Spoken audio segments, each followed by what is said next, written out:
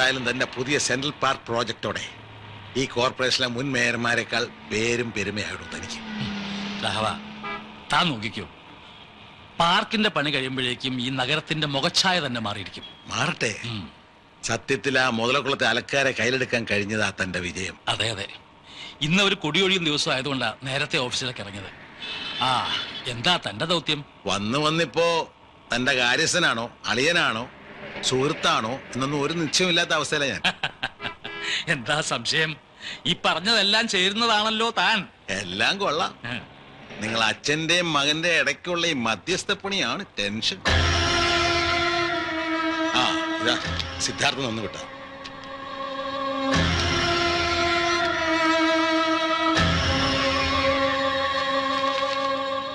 രാഘവേട്ടന് ഈ പേപ്പേഴ്സും ചെക്കുകളും മിസ്റ്റർ കരുണാകര മേനോനെ കൊണ്ട് ഒപ്പിടിവിച്ച് കമ്പനിയിലേക്ക് കൊടുത്തയക്കണം. സിദ്ധാർത്ഥൻ.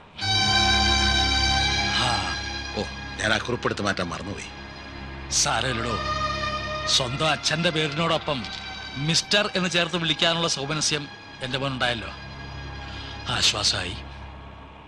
ജോയിന്റ് അക്കൗണ്ട് ആയതുകൊണ്ട് ഈ ഒപ്പിടുന്ന പണിയെങ്കിലും ഉണ്ട് എനിക്ക് ഈ കാശെല്ലാം അവൻ എങ്ങനെയാണ് ചെലവാക്കുന്നതെന്ന് അന്വേഷിക്കാറുണ്ടോ താൻ? കണക്ക് ചോദിക്കുന്നൊന്നും സിദ്ധാർത്ഥൻ അത്ര ഇഷ്ടമുള്ള കാര്യമല്ലെന്ന് അറിയില്ലേ? ആ ഇരുപത്തഞ്ച് വർഷം മുമ്പ് നഷ്ടപ്പെട്ടതാണല്ലോ. എനിക്ക് അവന്റെ മേലുള്ള കടിഞ്ഞാൻ അവന്റെ ഇഷ്ടം പോലെ നടക്കട്ടെ.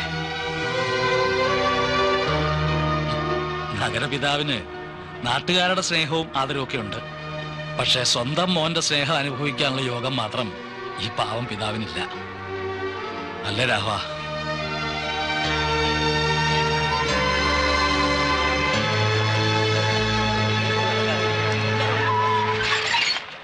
ഞാനെന്നാ ബാങ്കിൽ പോയിട്ട് വരാം. ആ. ആ, നമസ്കാരം. നമസ്കാരം ആ അലക്കുകാരെ മാറ്റി പാർപ്പിക്കാനുള്ള ഫയലുകളൊക്കെ ക്ലിയർ ആയതല്ലേ? ഉപ സർ. പക്ഷെ അവർ പേപ്പേഴ്സ് ഒന്നും സൈൻ ചെയ്തിട്ടില്ല. അവർക്ക് സാറിനെ കണ്ടെന്തോ പറയാനുണ്ടെന്ന്. ഇനി എന്താണാവോ പറയാനുള്ളത്? തൽക്കാലം ആ പുറമ്പോക്ക് ഏരിയയിലേക്ക് മാറാൻ ഞങ്ങൾക്ക് ബുദ്ധിമുട്ടുണ്ട് സാർ. നിങ്ങൾ ഇങ്ങനെ തോന്നുമ്പോ തോന്നുമ്പോ ഓരോന്ന് പറഞ്ഞാൽ എങ്ങനെയാ സാറിനറിയാലോ ഈ സിറ്റിയിലെയും ചുറ്റുവട്ടത്തിലെയും വെഴുപ്പ് മുഴുവൻ അലക്കുന്നത് ഞങ്ങളാണ്. വെള്ളത്തിന്റെ യാത്രാ സൗകര്യത്തിന്റെയും കാര്യത്തിൽ മുതലക്കുളം തന്നെയാണ് ഞങ്ങൾക്ക് മെച്ചം. അത് നിങ്ങൾ അവിടുന്ന് മാറാവുന്ന സമ്മതിക്കുന്നതിന് മുമ്പ് ആലോചിക്കേണ്ടതായിരുന്നു. അന്ന് സാറിന്റെ സമ്മർദ്ദത്തിനും ഭീഷണിക്കും വഴങ്ങിയത് ബുദ്ധിമോശമായെന്ന് മനസ്സിലാക്കാൻ ഞങ്ങൾ ഇത്തിരി വൈകിപ്പോയെന്ന് മാത്രം. എന്തായാലും കോർപ്പറേഷൻ അവിടെ പാർക്കിന്റെ പണി തുടങ്ങാനുള്ള എല്ലാ ഏർപ്പാടുകളും ചെയ്തു കഴിഞ്ഞു. ഒഴിഞ്ഞില്ലെങ്കിൽ നിങ്ങളെ അവിടുന്ന് ഒഴിപ്പിച്ചിട്ട് ഞാൻ ഈ പ്രോജക്റ്റ് പൂർത്തിയാക്കിയിരിക്കും. അത് സാറ് ഞങ്ങളുടെ ശക്തി കുറച്ച് കാണുന്നോണ്ട് തോന്നണം. ഞങ്ങളെ അവിടുന്ന് നിന്ന് ഒഴിപ്പിക്കാൻ സാർ ഈ ജന്മത്ത് വിചാരിച്ചാൽ കഴിയില്ല. വരണ്ട അഹങ്കാരികൾ. ഇതങ്ങനെ വെറുതെ വിട്ടാ പറ്റില്ല. സോമൻ സർ? ആ കമ്മീഷൻ ഒന്ന് വിളിക്കും.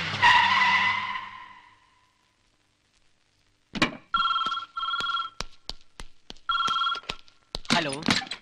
സർ മേയറുടെ phone. Hello sir. Good morning. ഓ അത് ശരി. ആ അലക്കാരുടെ പിന്നിൽ കളിക്കുന്ന ഏത് ശക്തിയായാലും ശരി ഇന്നോടെ ഞാൻ അവസാനിപ്പിച്ചുള്ള അവരുടെയൊക്കെ കളി.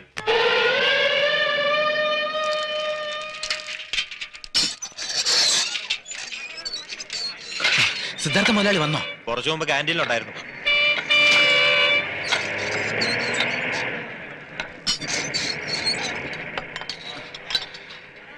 അല്ല സിദ്ധാർത്ഥ മുതലാളി ഇങ്ങോട്ട് വന്നിട്ട്? മൂപ്പര് പരിപ്പടം ചായ കഴിച്ച് പോയല്ല. ഇതെവിടെ പോയി കിടക്ക?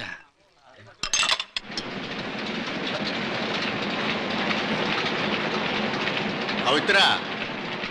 എന്താ? എവിടൊക്കെ ഈ പന്തം കണ്ട പെരിച്ചായിലേക്ക് ഓടുന്നത് ടേക്ക് ഇറ്റ് ഈസി എനിക്ക് സിദ്ധാർത്ഥ മുതലാളി ഒന്ന് അത്യാവശ്യമായിട്ട് കാണണം. ഇച്ചി ഇവിടുന്ന് ശമ്പളം എഴുതി വാങ്ങിയിട്ട് പണിയൊന്നും എടുക്കാതെ മൂപ്പരുടെ സോൾഗാർഡ് ആയിട്ട് ഇങ്ങനെ നടക്കണല്ലേ അല്ല? മോനെ. നിങ്ങൾ എന്താ പറഞ്ഞ? നിങ്ങളുടെ മോടെ കല്യാണത്തിന് അഡ്വാൻസിന് പുറമെ ഒരു പതിനായിരം രൂപ കൂടി മുതലാളിയെ സോപ്പിട്ട് വാങ്ങി തരണം അല്ലേ? അത്. നമ്മൾ സോൾ ഗാഡി ആക്കി തരാം കേട്ടാ. മോനെ ഇജ്ജ് നമ്മൾ സ്വീപ്പ് ഉണ്ടാക്കല്ലേ? പത്തായിരം ഉറുപ്പ്യ കിട്ടിയാലേ നമ്മളെ മോളെ നിക്കാതെ ബേജാറില്ലാണ്ട് നടത്താൻ പറ്റും. അത് ഓർമ്മയുണ്ടല്ലോ? ആ. അപ്പൊ വലിയ വായിൽ ഇങ്ങനെ കുറ്റപ്പെടുത്തി സംസാരിക്കരുത്. ഞാൻ ഇവിടുത്തെ തൊഴിലാളി മാത്രമല്ല മുതലാളിയുടെ പ്രൈവറ്റ് സെക്രട്ടറി കൂടിയാണ്. ടേക്ക് ഇറ്റ് ഈസി എല്ലാം ശരിയാക്കി തരാം കേട്ടാ? സിദ്ധാർത്ഥ മുതലാളി!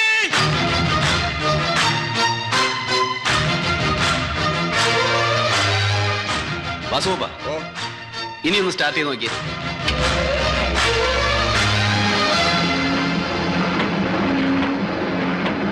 ബാംഗ്ലൂരിൽ നിന്ന് എഞ്ചിനീയറെ കൊണ്ടുവന്നാലേ ഇത് റിപ്പയർ ചെയ്യാൻ പറ്റുമെന്ന് പറഞ്ഞ് പറ്റുവെച്ചൊക്കെ പൈസ പൈസർക്ക് പൈസ ആ പൈസ പൈസ പൈസ ഇതാ മുതലാളി. രാജനിൽ ഏറ്റവും സ്ട്രോങ് ആയിട്ട് പറ്റുവെച്ചത് പൈസ എടുക്ക് പൈസ. കുട്ടികൾക്ക് നോട്ട് ബുക്ക് അല്ല അമ്പത് ഉറുപ്പിയുള്ളൂ പോക്കറ്റിൽ അല്ല എത്ര സിദ്ധാർത്ഥ മുതലാളിക്ക് എന്തിനാ കാശ്? ഇക്കാര്യത്തിൽ മുതലാളിയും തൊഴിലാളിയും ഒന്നും ഇല്ല കാശർക്ക് കാശർക്ക് മുതലാളി എത്രയും പെട്ടെന്ന് അവിടെ ചെന്നില്ലെങ്കിൽ ആ പോലീസുകാർ അലക്കാർ അലക്കി വെളുപ്പിക്കും. ഓ അത്രത്തോളം കാര്യം. രാജാ ഓ. പൈസ മുഴുവൻ മുതലാളി ഞങ്ങൾ വരണോ? വേണ്ട വേണമെങ്കിൽ ഞാൻ വിളിച്ചു പറയാം.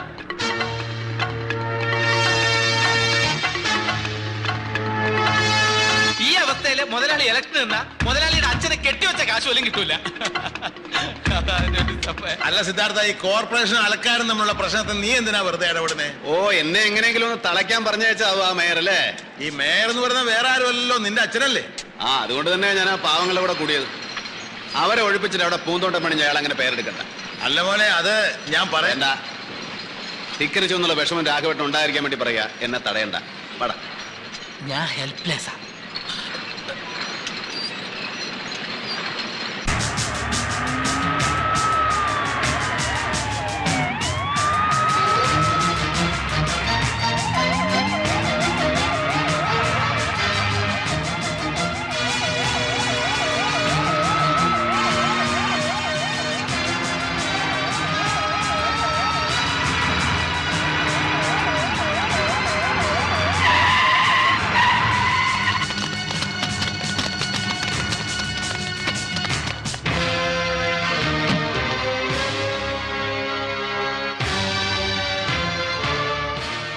എത്രയും പെട്ടെന്ന് നിങ്ങൾ എല്ലാവരും ഇവിടുന്ന് ഒഴിഞ്ഞു പോകുന്നതാണ് നല്ലത്. അത് തന്നെ ഞങ്ങൾക്കും പറയാനുള്ളത്.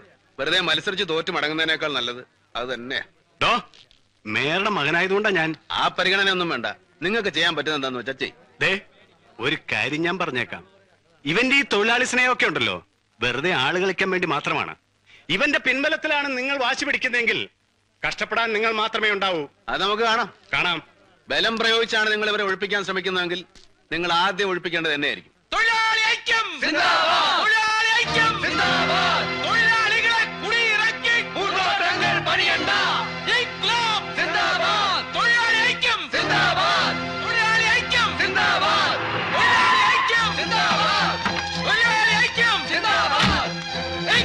Come on, charge! തൊഴിലാളി ഐക്യം. തൊഴിലാളി ഐക്യം. തൊഴിലാളി ഐക്യം. വേണ്ട. നോ, നിർത്ത്. സ്റ്റോപ്പ് സ്റ്റോപ്പ് എന്താണിത്? What happen to you sir തൽക്കാലം അവർ അവരിവിടെ തന്നെ കഴിഞ്ഞോട്ടെ. ഫർദർ ആക്ഷൻസ് ഒന്നും എടുക്കണ്ട. വൈ സാർ വൈ ബുദ്ധിമുട്ടിച്ചതിൽ ക്ഷമിക്കണം. Please do what I said please please go back come on go back thank you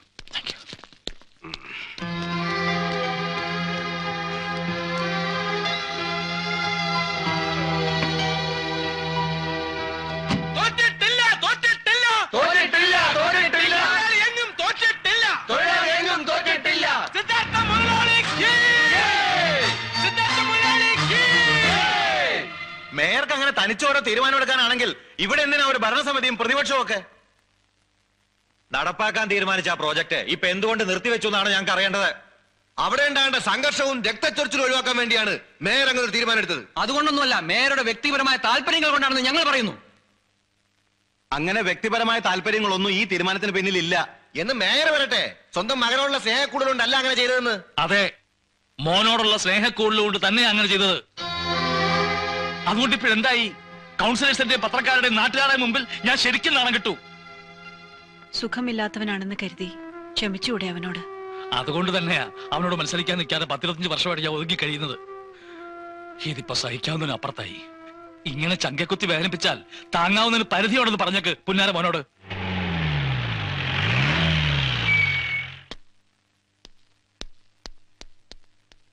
വർഷങ്ങൾ കുറെ ആയല്ലോ. നിങ്ങൾ അച്ഛനും മോനും തമ്മിൽ എന്തെങ്കിലും സംസാരിച്ചിട്ട് ഇന്നതങ്ങ് അവസാനിപ്പിക്കേ. പറയാനുള്ളത് എന്താന്ന് വെച്ചാൽ നേരിട്ടങ്ങ് പറഞ്ഞേക്ക്.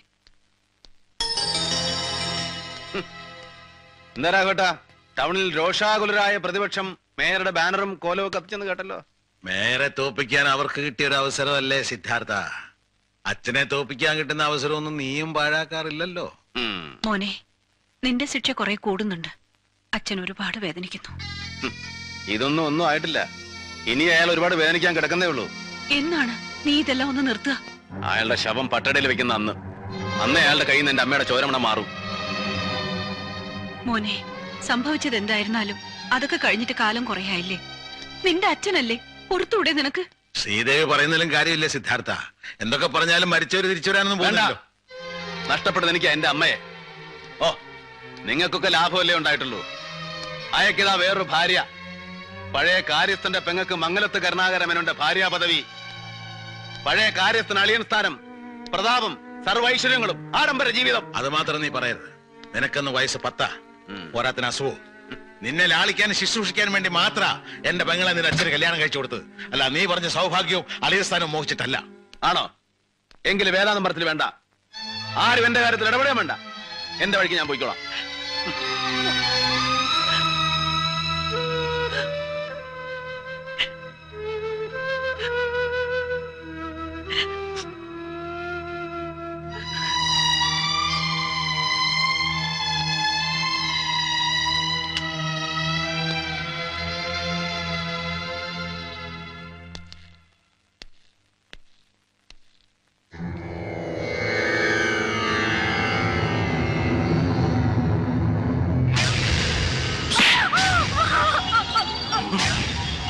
അതേടി എനിക്ക് കഥകളി പ്രാന്തുണ്ട് അത് നിനക്കെന്താ എത്ര ചേതം കഥകളി ഭ്രാന്ത് ഒഴിവാക്കണമെന്നല്ല ഞാൻ പറഞ്ഞത്. ഇങ്ങനെ കണക്കും കാര്യമൊന്നും നോക്കാതെ നടക്കരുതെന്നേ ഞാൻ പറഞ്ഞുള്ളൂ. എല്ലാവരെയും കണ്ണടച്ച് വിശ്വസിച്ച് ഓരോ അബദ്ധത്തിൽ ചെന്ന് ചാടുമ്പോഴേ കരനട്ടം ഇവരെ അറിയൂ. കുറെ കാലമായി ഞാൻ സഹിക്കുന്നു. മനുഷ്യനായ മറ്റുള്ളവരെ കുറിച്ച് വിശ്വാസം വേണം. ജോലിക്കാർക്കൊക്കെ കുറ്റങ്ങൾ കാര്യത്തിലാണെങ്കിൽ ചതിയൻ. ഭർത്താവായ ഞാൻ ധൂർത്തൻ അസന്മാർക്കി. ഈ ലോകത്ത് നീ ഒഴിച്ച് ബാക്കി എല്ലാവരും കള്ളന്മാരും ചതിയന്മാരും ആയ സ്ഥിതിക്ക് ഇനി ഒറ്റ പരിഹാരമേ ഉള്ളൂ. ഞങ്ങളുടെ ഇടയിൽ ജീവിക്കേണ്ടത് അങ്ങ് തീരുമാനിക്കാം. എന്ന് വെച്ചാ എന്നോട് പോയി ചാവാൻ. ആ ഞാൻ ചത്ത കണ്ട തേവിടിച്ചുകളോട് ജീവിക്കല്ലോ നീയൊക്കെ ചത്ത് തൊലയുന്നത് തന്നെയാ നല്ലത്. എന്നാ പിന്നെ നിന്നെ പിന്നേക്കാക്കുന്നത് ഇപ്പൊ തന്നെ കൊന്നേക്ക്. ഇങ്ങനെ പോയാൽ എന്റെ കൈകൊണ്ട് തന്നെ ആയിരിക്കും നിന്റെ അന്ത്യം. ഒരു കാര്യം ഞാൻ പറഞ്ഞേക്കാം. എന്റെ ഒരു വിഷയത്തിൽ തലയിടാൻ വേണ്ട. അതെന്റെ കടമയാണ്. സിദ്ധാർത്ഥ. ഇല്ല. ഈ പണം തോന്നിയാസം ചെലവാക്കാൻ ഞാൻ സമ്മതിക്കില്ല. നിന്നോട് മാണനാ പറഞ്ഞത്? ഇല്ല മോനെ. താഴെ കഥകളിയുടെ ചുട്ടികുത്തൽ കഴിഞ്ഞു. മോനെ കാണണമെന്ന് പറഞ്ഞില്ലേ? വാ. വാ.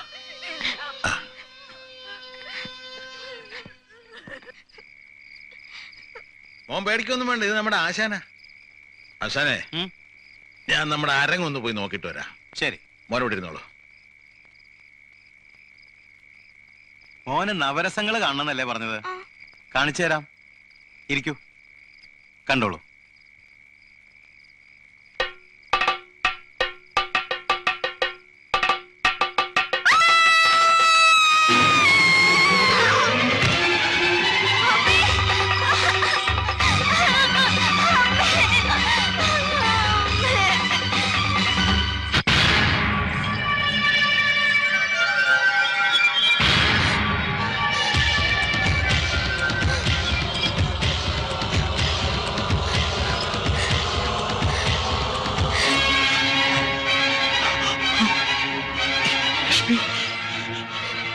ലക്ഷ്മി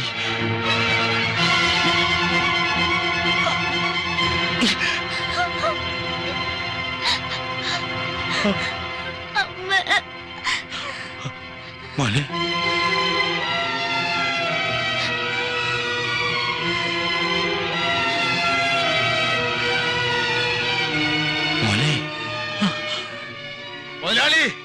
എന്താ പറ്റിയേ? എന്താ മോനെ ഉണ്ടായേ?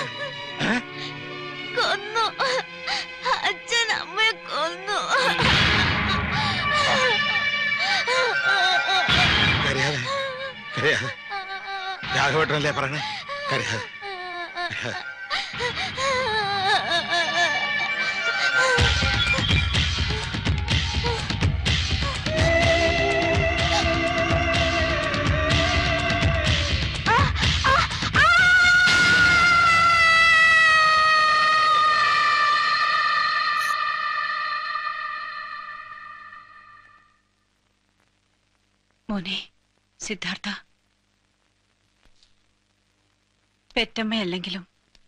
സ്വന്തം മോനേക്കാൾ സ്നേഹിച്ചിട്ടല്ലേ ഉള്ളൂ നിന്നെ ഞാൻ.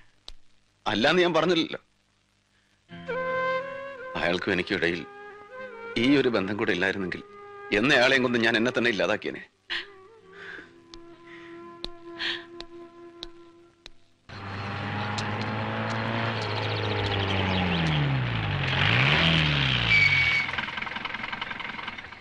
കാലത്തെ കോളേജിൽ പോയ നീ എന്താ ഇവിടെ? അല്ല അത് ഞാൻ അച്ഛനെ കാണാൻ തന്നെ വന്നതാ. ആ? എന്റെ സ്റ്റെതസ്കോപ്പ് പൊട്ടിപ്പോയി. പുതിയതൊരെണ്ണം വാങ്ങണമായിരുന്നു. ഒരു സ്റ്റെറ്റസ്കോപ്പ് പോലും മര്യാദയ്ക്ക് ഉണ്ടാക്കാൻ വയ്യാത്ത നീയൊക്കെ എങ്ങനെയാടാ ഡോക്ടറാകുന്നത് ആ കാശ് എടുത്ത് വാങ്ങിച്ചു എത്രയാണെന്ന് വെച്ചാ?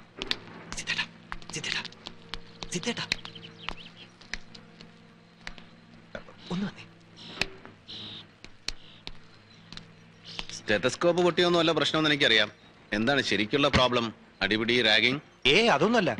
ഞങ്ങളുടെ പ്രിൻസിപ്പാളിനെ ഒന്ന് ഡീൽ ചെയ്യണം. എന്തിന്? ഞങ്ങൾ കോളേജ് ഓഡിറ്റോറിയത്തിൽ ഇരുന്ന് ഒരു ബിയർ അടിച്ചു. അതിന് അയാൾ ഞങ്ങളെ സസ്പെൻഡ് ചെയ്തിരിക്കുക കോളേജിനകത്തിരുന്ന് മദ്യപിച്ച പിന്നെ സസ്പെൻഡ് ചെയ്യല്ലാതെ മാലയും പൊക്കയും തന്നെ സ്വീകരിക്കണോ അല്ല പിന്നെ. എന്നോട് ചോദിച്ചില്ലല്ലോ. ഇപ്പൊ നിങ്ങളുടെ പ്രിൻസിപ്പലിനെ കണ്ട് സസ്പെൻഷൻ പിൻവലിപ്പിക്കണം? അത്രയല്ലേ ഉള്ളൂ? അതെ. ചെറുപ്പിക്കാമെന്നൊക്കെ മുതലാളി. ഓടാ ജോലിക്കാരത്തെ കടയിൽ അയച്ചോ മോളെ? ശബ്ദം കറക്റ്റ് ആണല്ലോ അല്ലേ? ദേ ഈയിടെ ആയിട്ട് ആക്ടിങ് മിമിക്രി ഇത്തിരി കൂടുന്നുണ്ട് കേട്ടോ. പരിഭവിക്കാതെ ഡാർലിംഗ് ആൾക്കാരുടെ മുമ്പിൽ കീരിയും പാമ്പും. ആരും ഇല്ലാത്തപ്പോ മാത്രം കൊഞ്ചൽ. എനിക്ക് മടുത്തു ഈ അഭിനയം. അങ്ങനെ മടുത്താൽ എങ്ങനെയാ? നീയും കൂടെ സമ്മതിച്ചിട്ടില്ലേ ഇങ്ങനെ സേഫ് ആയിട്ടുള്ള ഒരു സ്റ്റൈൽ നമ്മൾ തീരുമാനിച്ചത്? ഇനി ഇപ്പൊ നമ്മൾ തമ്മിൽ സ്നേഹത്തിലാണെന്ന് ആരെങ്കിലും ചെന്ന് പറഞ്ഞാൽ പോലും നിന്റെ അച്ഛനോ സിദ്ധാർത്ഥ മുതലാളിയോ വിശ്വസിക്കില്ല. നമുക്ക് ധൈര്യമായിട്ട് സ്നേഹിക്കാം. അത്രയ്ക്ക് ധൈര്യമാണോ? പിന്നല്ലാതെ? അയ്യോ ദേ ഒരെണ്ണം പൊട്ടിച്ചെന്നാണല്ലോ. അല്ല പിന്നെ. ഞാൻ വെറുതെ അഭിനയിച്ചല്ലേ അല്ലെങ്കിൽ മുതലാളി ഇവിടെ വരില്ലെന്ന് എനിക്കറിയാം. അങ്ങേര് നിന്റെ ചേട്ടന്റെ കോളേജിൽ പോയി ഇപ്പൊ അടിച്ച് കലക്കുണ്ടാവും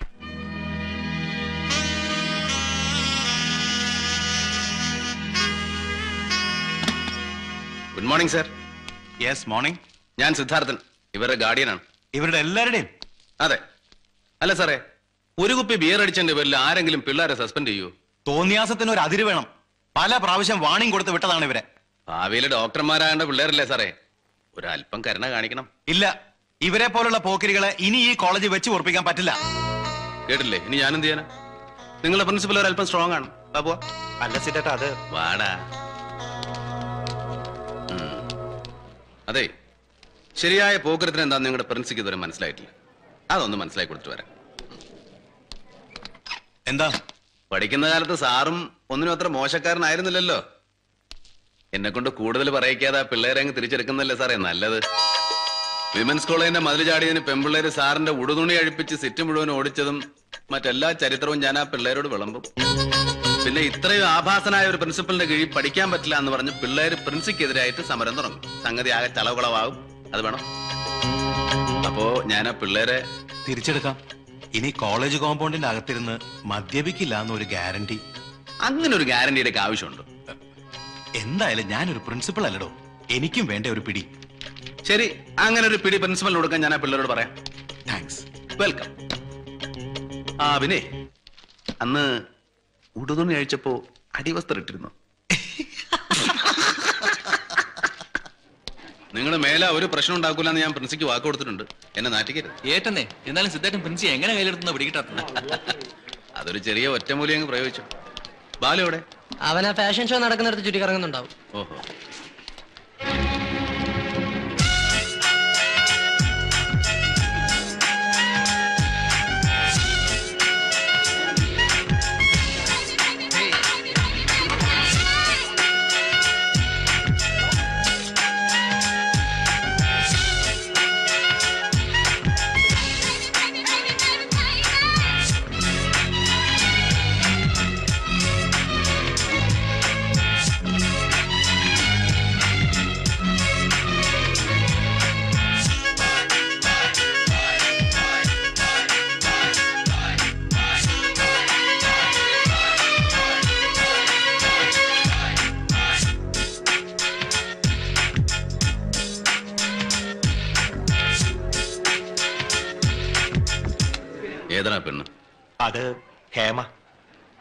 തമ്മിൽ അടുപ്പത്തിലാ. ഗുഡ് സ്നേഹിക്കാൻ അവളെ പോലെ ഒരു സുന്ദരി പെണ്ണുണ്ടാകുന്നൊക്കെ പറഞ്ഞാൽ അതൊരു ഭാഗ്യ. നിന്റെ പ്രായത്തിൽ എനിക്കതൊന്നും വിധിച്ചില്ല. എന്റെ കാര്യമൊന്നും അത്രയ്ക്ക് ഉറപ്പിച്ച് പറയാറായിട്ടില്ല. എന്താ അവൾ ആ മൊരടൻ കമ്മീഷണറുടെ പെങ്ങളാ. അയാൾ ആകെ പ്രശ്നം. ആരെ പെങ്ങളായാലും എന്താ? അവക്ക് നിന്നെ ഇഷ്ടമാണെങ്കിൽ നീ ധൈര്യമായിട്ട് പ്രേമിച്ചോ? എന്ത് വന്നാലും ഞാനില്ലേ? ഉറപ്പാണല്ലോ? ഉറപ്പ്.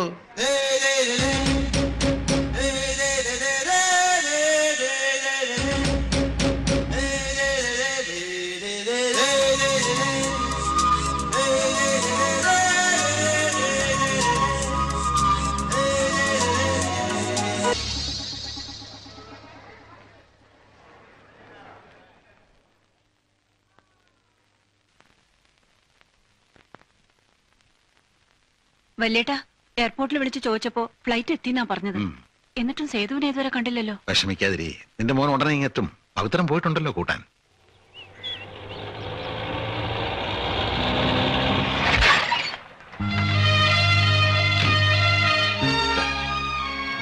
Thank you Sethu? സ്വീകരിക്കാനൊന്നും ആരും വരണ്ട. എയർപോർട്ടിലേക്ക് ഒരു കാർ അയക്കാൻ പറ്റില്ല പറഞ്ഞ വലിയ കഷ്ടാട്ടോ. പവിത്രനെ കാറിൽ എയർപോർട്ടിലേക്ക് അയച്ചിരുന്നല്ലോ. ഓ എങ്കിലും വേറെ ഒരിടത്തും വായി നോക്കി പോണ്ടാവും.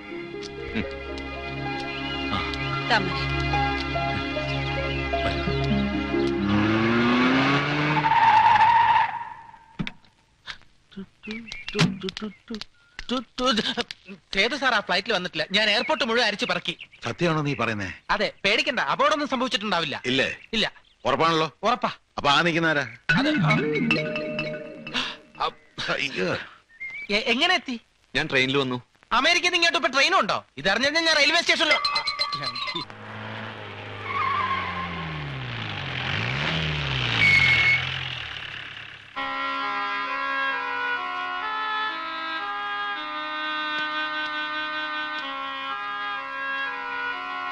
മോനെ മോനും കൂടെ സമ്മതിച്ചിട്ടാണോ ഈ കടുങ്കൈ? കടുങ്കയ്യോ? സേതു മുതലാളിന്റെ നോട്ടീസ് അഡ്വാൻസ് വാങ്ങിച്ചവരൊക്കെ ഒരാഴ്ചനുള്ളിൽ തിരിച്ചടയ്ക്കണം പോലും.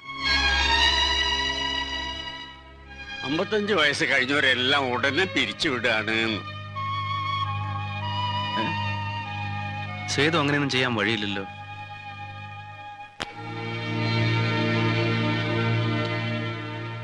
മുതലാളിയെ സൈഡിലാക്കി ഓവർടേക്ക് ചെയ്യാനായിരിക്കും. കണ്ണിച്ചോരയില്ലാത്ത ഈ പുതിയ പരിഷ്കാരങ്ങൾ. മോനറിയാലോ ഈ കമ്പനിന്റെ തറക്കല്ലിട്ട കാലം തൊട്ടേ ഞാൻ ഇവിടെ ഇട്ട് മയ്യത്താവുന്നത് വരെ ഇവിടുത്തെ ജോലി എടുത്ത് കൈയിടുന്ന തന്നെയാ പൂതി. നിങ്ങളെയൊന്നും ആരും പിരിച്ചുവിടാൻ പോണില്ല. പോരെ.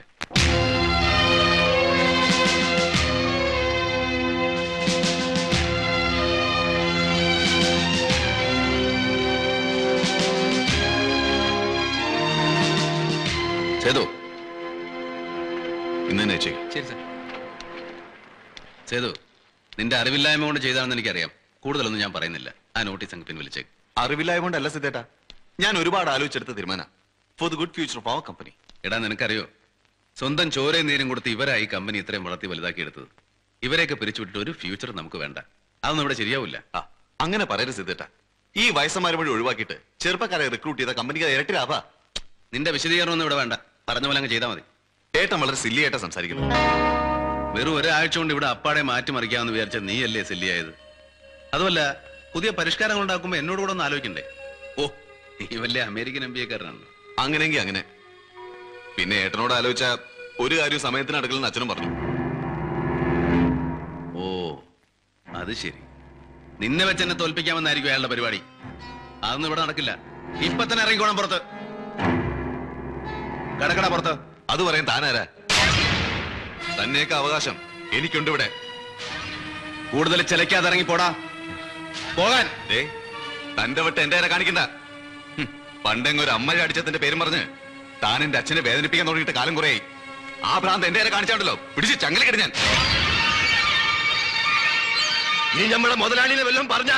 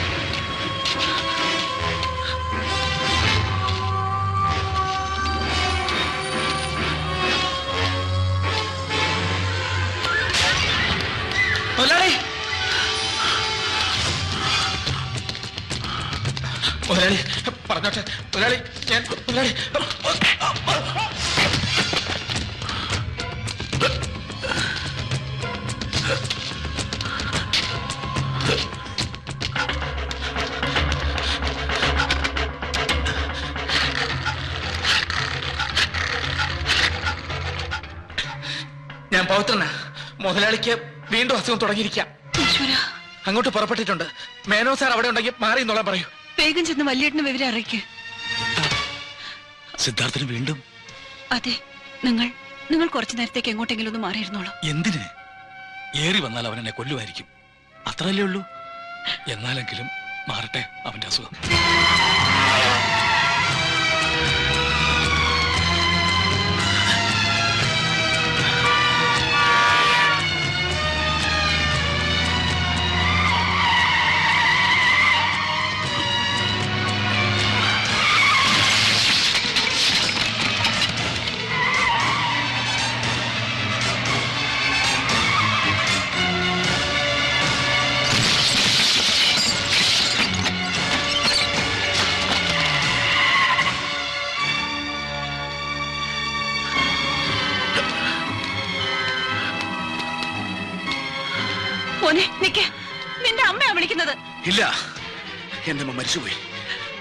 കൊന്നു. ഇയാൾ കൊന്നു. കൊല്ലു ഞാൻ. എല്ലാവരെയും കൊല്ലും ഞാൻ. അച്ഛനൊന്നും ചെയ്യരുത്. അമ്മയാണ് പറയുന്നത് സിദ്ധാർത്ഥ. മോനെ മോനെ അരുത് മോനെ അച്ഛനെ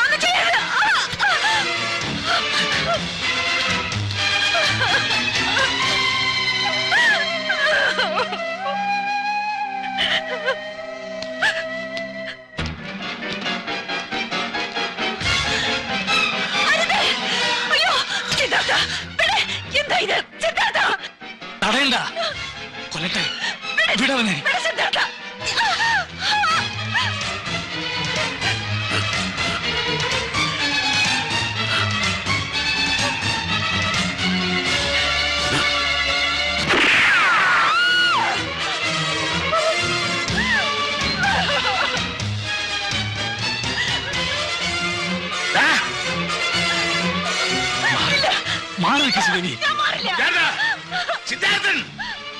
തോക്ക് താഴെടാ. തോക്ക് താഴെടാ പറഞ്ഞേ. ഇവിടത്താ.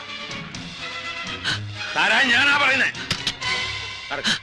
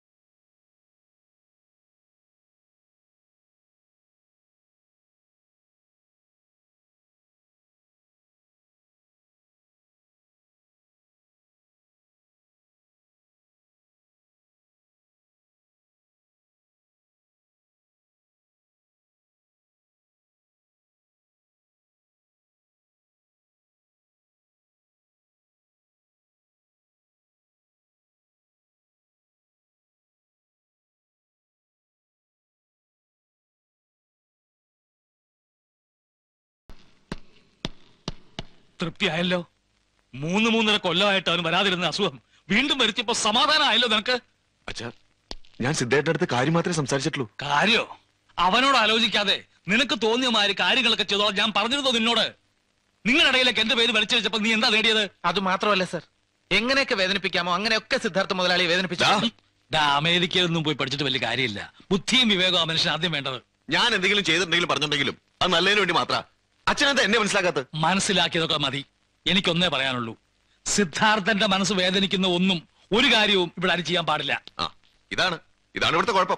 അയാൾ എന്ത് ചെയ്താലും കുറ്റമില്ല. കുറ്റം മുഴുവൻ എനിക്കാ. കുറെ കാലേ ഞാൻ ക്ഷമിക്കണു. ഇനി വയ്യ. എനിക്കുണ്ട് ഒരു ഐഡന്റിറ്റി ഉദ്ദേശിച്ച കാര്യങ്ങളൊക്കെ ഞാൻ നടത്ത തന്നെ ചെയ്യും. തോന്നിവാസം പോലെ ജീവിക്കുന്നത് ഇവിടെയല്ല പുറത്ത്. ഓഹോ അപ്പൊ ഇവിടുന്ന് ഇറങ്ങണോ ഞാൻ? അല്ല എനിക്കൊരു സംശയം. ഞാനെന്താ നിങ്ങൾക്കുണ്ടായതല്ലേ? എന്താമേ പിഴച്ചു പറ്റുണ്ടായത് മറ്റാണോ ഞാൻ? നിർത്തടാ. ആരോട് എന്താ സംസാരിക്കുന്നെന്ന് തലയ്ക്ക് വെളി വേണം. ഇപ്പൊ എനിക്ക് എല്ലാം മനസ്സിലായി. നിങ്ങൾക്ക് രണ്ടുപേർക്കും ആ സൽപുത്രം മതിയെങ്കിൽ പിന്നെ ഞാൻ എന്തിനോട് അധികപ്പറ്റായിട്ട് ഇവിടെ?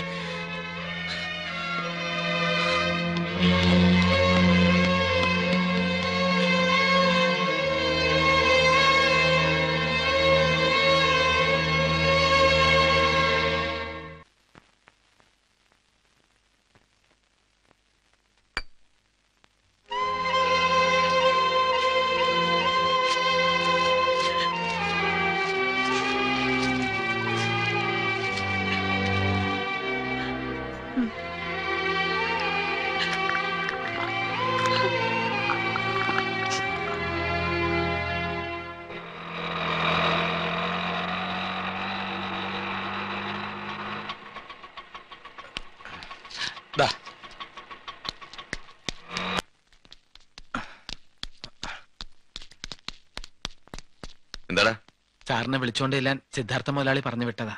ഇനി ആ വീടിന്റെ പടി ചവിട്ടില്ലെന്ന് ചെന്ന് പറഞ്ഞേക്ക് എന്റെ മുതലാളിയോട്. സേതു നീ അങ്ങനെ പറയരുത്. പവിത്രം വിളിച്ചാൽ നീ വന്നില്ലെങ്കിലും തോന്നിയതുകൊണ്ടാണ് ഞാൻ തന്നെ വന്നത്. എത്രയും പെട്ടെന്ന് നീ വീട്ടിലേക്ക് തിരിച്ചു വരണം. എന്തിന്? നിങ്ങളുടെ ഒന്നും ചൊൽപ്പടി നിൽക്കാൻ എന്നെ കിട്ടില്ല.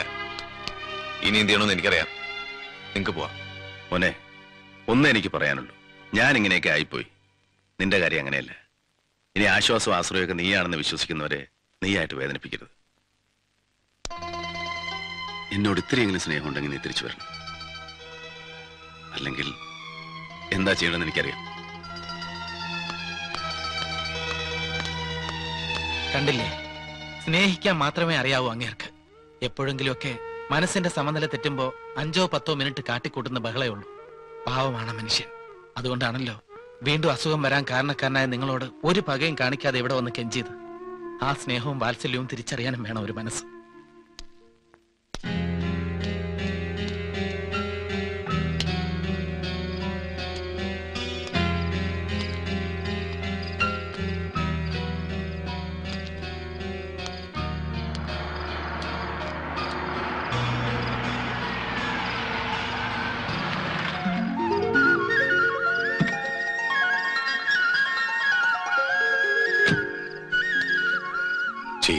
തെറ്റായിപ്പോയി ഏട്ടൻ എന്നോട് ക്ഷമിക്കണം. കുറ്റബോധമൊന്നും വേണ്ടടാ. നീ വന്നല്ലോ. എനിക്കത് മതി. ഏട്ടനെ ഞാൻ അനുസരിച്ചില്ലേ? ഇനി എനിക്ക് പറയാനുള്ളത് ഏട്ടൻ കേൾക്കണം. ആ തൊഴിലാളികളായിട്ട് ഏട്ടൻ ഇങ്ങനെ മിങ്കിൾ ചെയ്യരുത്. സേതു ഇന്നല്ലെങ്കിൽ നാളെ ഞാനൊരു മുഴുവട്ടനായി തീരുമെന്നുള്ളത് ഉറപ്പാ.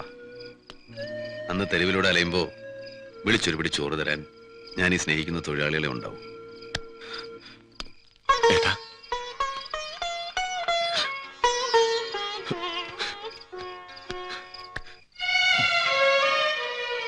എന്റെ മോന്റെ അടുത്ത് ചെന്ന് ഒന്ന് ആശ്വസിപ്പിക്കാൻ പോലും പറ്റാത്ത ഈ ദുരവസ്ഥ എന്നാ ശ്രീദേവി അവസാനിക്കുക അതോ മരണം വരെ ഞാനും അവനും തമ്മിലുള്ള അകലം ഇങ്ങനെ തന്നെ നിൽക്കൂ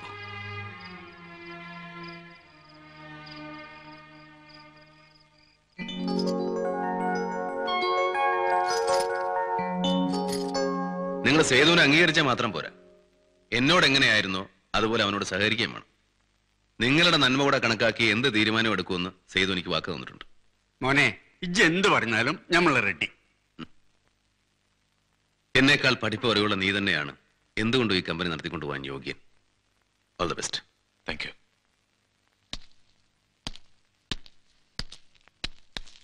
hello താനെങ്ങോട്ടാ?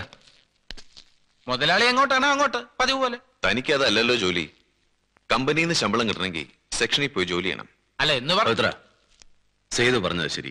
നീ എന്റെ കൂടെ എനിക്ക് ഇറങ്ങി നടക്കണ്ട. ചെല്ല് ചെന്ന് പണിയെടുക്ക. പറഞ്ഞത് കേട്ടില്ലേ? എന്നാ വേഗം സെക്ഷനിലേക്കല്ലേ? സൗകര്യപ്പെടില്ല ഓഹോ. എന്ന് വെച്ചാൽ നിനക്കൊക്കെ മെയ്യനങ്ങാതെ ശാപ്പാട് അടിക്കാനാ താല്പര്യം നടത്താം അല്ല തൽക്കാലം ഈ അമേരിക്കൻ പത്രാസിന്റെ കീഴിൽ സൗകര്യപ്പെടൂല എന്നാ പറഞ്ഞത്. പട്ടിണി കിടക്കേണ്ടി വന്നാലും ഞാൻ സിദ്ധാർത്ഥ മുതലാളിയുടെ കൂടെ നടന്നോളാം. Don't shout this is a tile factory not a market if you are American M B A I am Kerala S S L C സിദ്ധേട്ടാ നമ്മുടെ ബാലു ലോക്കപ്പില. ലോക്കപ്പിൽ? ആ കമ്മീഷണർ പെട്ടെന്ന് ഹേമയുടെ കല്യാണം തീരുമാനിച്ചു. അതറിഞ്ഞ് ബാലു അവിടെ ചെന്ന് ബഹളം ഉണ്ടാക്കി. അതിനെ അയാൾ അവനെ പിടിച്ച് അകത്തിട്ടത്. ഓഹോ കേറ്. ഇപ്പൊ ജാമ്യം തരാൻ പറ്റില്ല സർ. ജാമ്യം തരാതിരിക്കാൻ കൊലക്കുറ്റമൊന്നും ചെയ്തിട്ടില്ലോ അവൻ. അല്ല സർ. കമ്മീഷണർ അവൻ ഞാൻ വേറെ വെച്ചിട്ടുണ്ട്. മര്യാദയ്ക്ക് ഇറക്കി വിടുന്നതാ നല്ലത്. ഇല്ലെങ്കിൽ ചവിട്ടി പൊളിക്കും. മേയറുടെ മോനാന്ന് കരുതി എന്തും ചെയ്യാന്നാണോ? ഏത് മേയർ ഞാൻ സിദ്ധാർത്ഥനാ. എനിക്കിവിടെ എന്തെങ്കിലും ചെയ്യണമെന്നുണ്ടെങ്കിൽ ഒരുത്തിന്റെ ഒരു ലേബലും വേണ്ട. ഇറക്കിവിട് കല്യാണം തീരുമാനിച്ചവരെ നീ എന്താ എന്നെ അറിയിക്കായിരുന്നത്? ഞാൻ വിവരം അറിഞ്ഞു തന്നെ ഇന്നലെയാ. അത് പറയാൻ വീട്ടിൽ വന്നിരുന്നു. സിദ്ധേട്ടന് അസുഖമായതുകൊണ്ട് കാണാതെ തിരിച്ചു പോന്നു. ഹേമയെ വരട്ടി കല്യാണം നടത്താൻ അയാളുടെ ശ്രമം. ഇനി അവൾ വേറൊരാളുടേതായാൽ പിന്നെ ഞാൻ ജീവിച്ചിരിക്കില്ല. നീ വിളിച്ചാൽ അവൾ ഇറങ്ങി വരുമെന്നുള്ള ഉറപ്പാ? എന്നാൽ അവളുടെ കഴുത്തിൽ വേറെ ആരും താലി കെട്ടുകയില്ല. നീ വാ.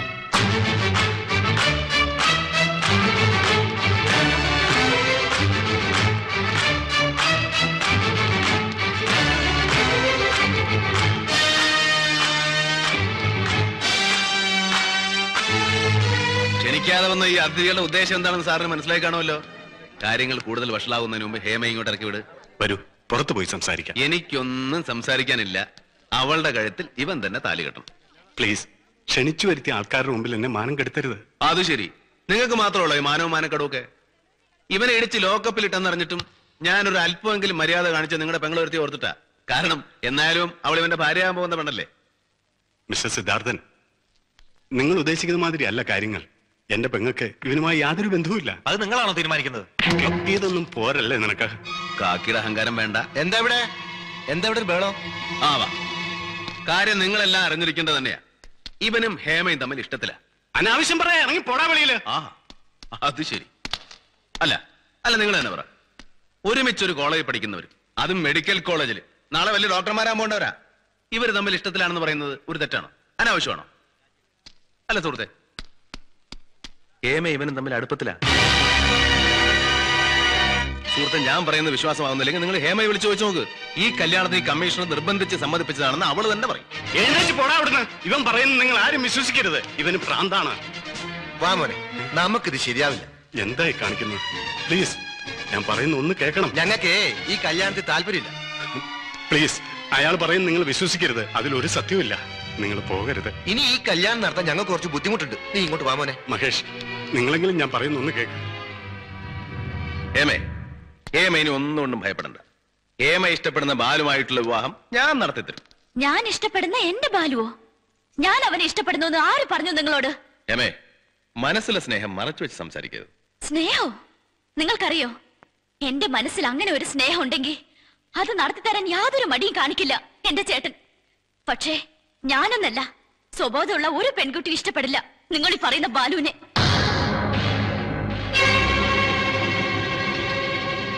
കോളേജിലെ ഏറ്റവും വൃത്തികെട്ട തെമ്മാടിയാണ് അവൻ പിന്നാലെ നടന്ന് ഒരുപാട് ശല്യം ചെയ്തിട്ടുണ്ട് അവൻ എന്നെ. ഒടുവിൽ ചെരുപ്പൊരി അടിക്ക പോലും ചെയ്തതാണ് ഞാൻ അവന്റെ മുഖത്ത്. എന്റെ ജീവിതം തകർക്കുമെന്ന് അന്ന് അവൻ വെല്ലുവിളിച്ചിരുന്നു. ഇപ്പോ നിങ്ങൾ എല്ലാവരും കൂടി എന്റെ ജീവിതം തകർത്തു. നീ പറഞ്ഞില്ലേ എന്റെ പെങ്ങളും അവനുമായി പ്രേമത്തിലാണെന്ന്. വിളിക്കിടാവനെ ഇവക്കിഷ്ടമാണെങ്കിൽ ഈ മണ്ഡപത്തിൽ വെച്ച് ഇതേ മുഹൂർത്തത്തിൽ ഈ കല്യാണം ഞാൻ നടത്തും. വിളിക്കവനെ. എവിടെടാ അവൻ? ഉം? എന്റെ പെങ്ങളുടെ കല്യാണം മുടക്കി നിന്റെ ഞാൻ.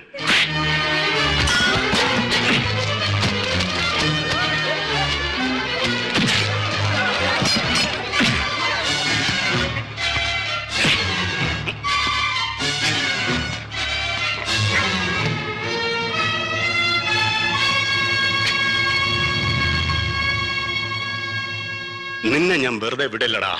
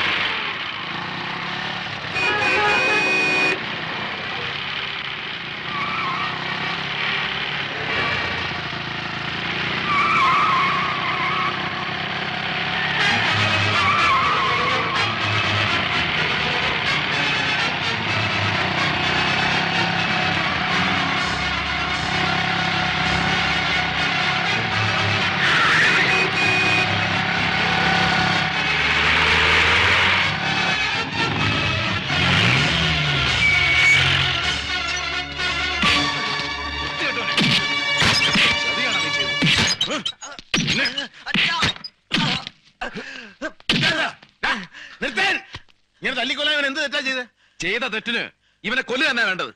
എന്നെ കരുവാക്കിയിട്ട് ഒരു പാവം പെണ്ണിന്റെ ജീവിതം നശിപ്പിച്ചത് അറിയോ? എല്ലാം ഞാൻ അറിഞ്ഞു. ഇവനെ പോലെ പക്വതില്ലാത്ത പ്രായമൊന്നും അല്ലല്ലോ നിന്റേത്. കല്യാണം മുടക്കാൻ ചാടി പുറപ്പെടും മുമ്പ് നിനക്കൊന്നും ആലോചിക്കാമായിരുന്നില്ലേ ആദ്യം സ്വയം ശിക്ഷിക്കും. എന്നിട്ട് മതി മറ്റുള്ളവരെ.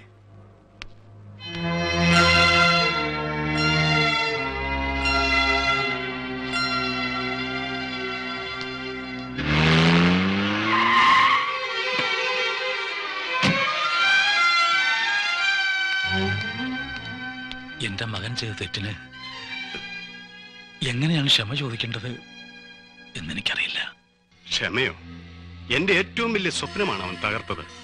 മനസ്സിനെ മുറിവേൽപ്പിക്കുന്നവരോട് ക്ഷമിക്കുന്ന ശീലം പണ്ടേ എനിക്കില്ല. വിളിക്കവനെ അവൻ ഇവിടെ ഇല്ല. എന്നാ പറഞ്ഞേക്ക്. എന്റെ പെങ്ങളുടെ കണ്ണീരിന് കണക്ക് പറഞ്ഞ് പകരം വീട്ടാതെ ഞാൻ അടങ്ങിയിരിക്കില്ല എന്ന്. വിടില്ല ഞാൻ അവനെ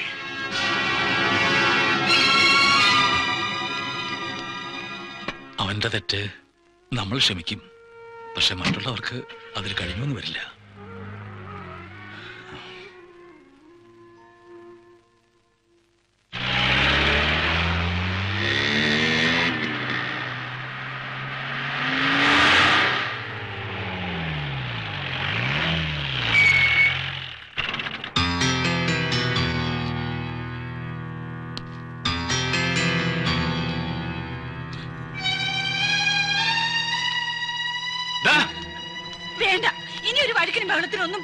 എന്നെ വിടാൻ. വേണ്ട. വിടന്നെ. എന്നെ അന്വേഷിച്ച് വീട്ടിൽ വന്നിരുന്നു അറിഞ്ഞു. അതുകൊണ്ടാണ് ഞാൻ തന്നെ നേരിട്ട് വന്നത്. എന്നെ എന്ത് വേണമെങ്കിലും ചെയ്യാം. എന്ത് ശിക്ഷ തന്നാലും സ്വീകരിക്കാൻ ഞാൻ തയ്യാറാണ്. മാപ്പർഹിക്കാത്ത തെറ്റാണ് ഞാൻ ചെയ്തതെന്നറിയാം. എങ്കിലും ചെയ്ത തെറ്റിന് എനിക്ക് പ്രായച്ചിത്തം ചെയ്തേ പറ്റൂ. നിങ്ങൾക്ക് സമ്മതമാണെങ്കിൽ എന്റെ അനുജൻ സേതു വിവാഹം കഴിക്കും നിങ്ങളുടെ പെങ്ങളെ.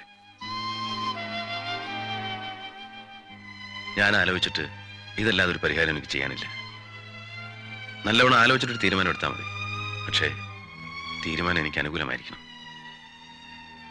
എന്നാലേ എന്റെ മനസ്സിന് സമാധാനാവും.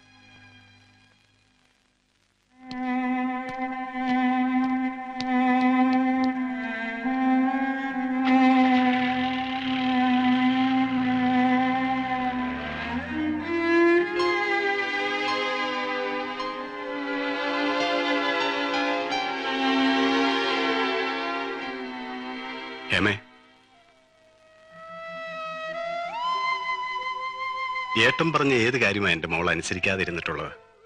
മോളുടെ ഏത് കാര്യമാണ് ഈ ഏട്ടൻ സാധിച്ചു തരാതിരുന്നിട്ടുള്ളത്? നിന്റെ നന്മയ്ക്ക് വേണ്ടിയിട്ടല്ലാതെ ഈ ഏട്ടൻ ഒന്നും ചെയ്തിട്ടില്ല ചെയ്യുകയുമില്ല. ഈ ആലോചന മുടങ്ങിപ്പോയ കല്യാണത്തിന് പകരമോ പരിഹാരമോ ആയിട്ടല്ല. നമുക്ക് കിട്ടാവുന്ന ഏറ്റവും നല്ലൊരു ബന്ധമായതുകൊണ്ടാണ്. എന്റെ മോൾ ഇതിനെ സമ്മതിക്കണം.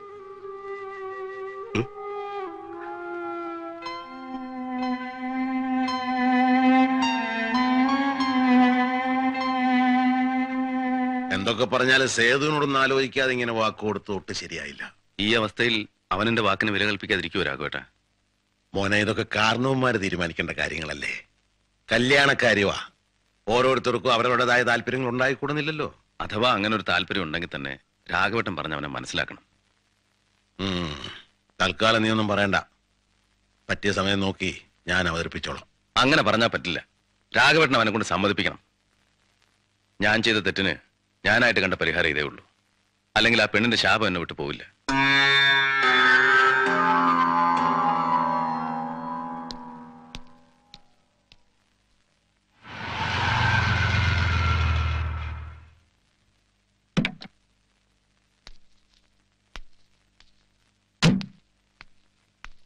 ഒരു സന്തോഷ വാർത്ത അറിയിക്കാനാണ് ഞാൻ വന്നത്.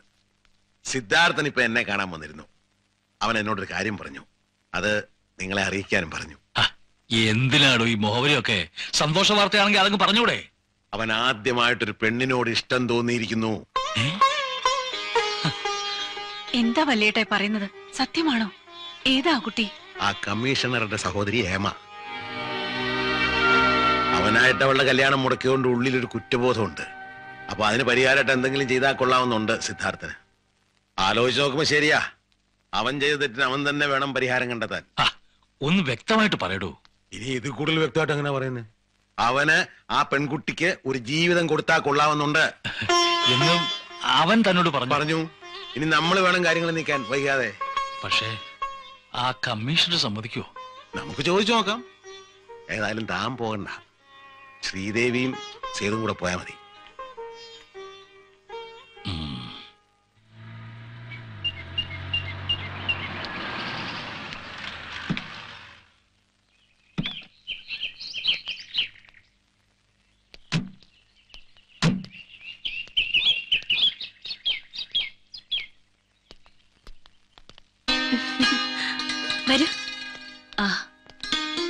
സിദ്ധാർത്ഥന്റെ അനിയൻ സേതു.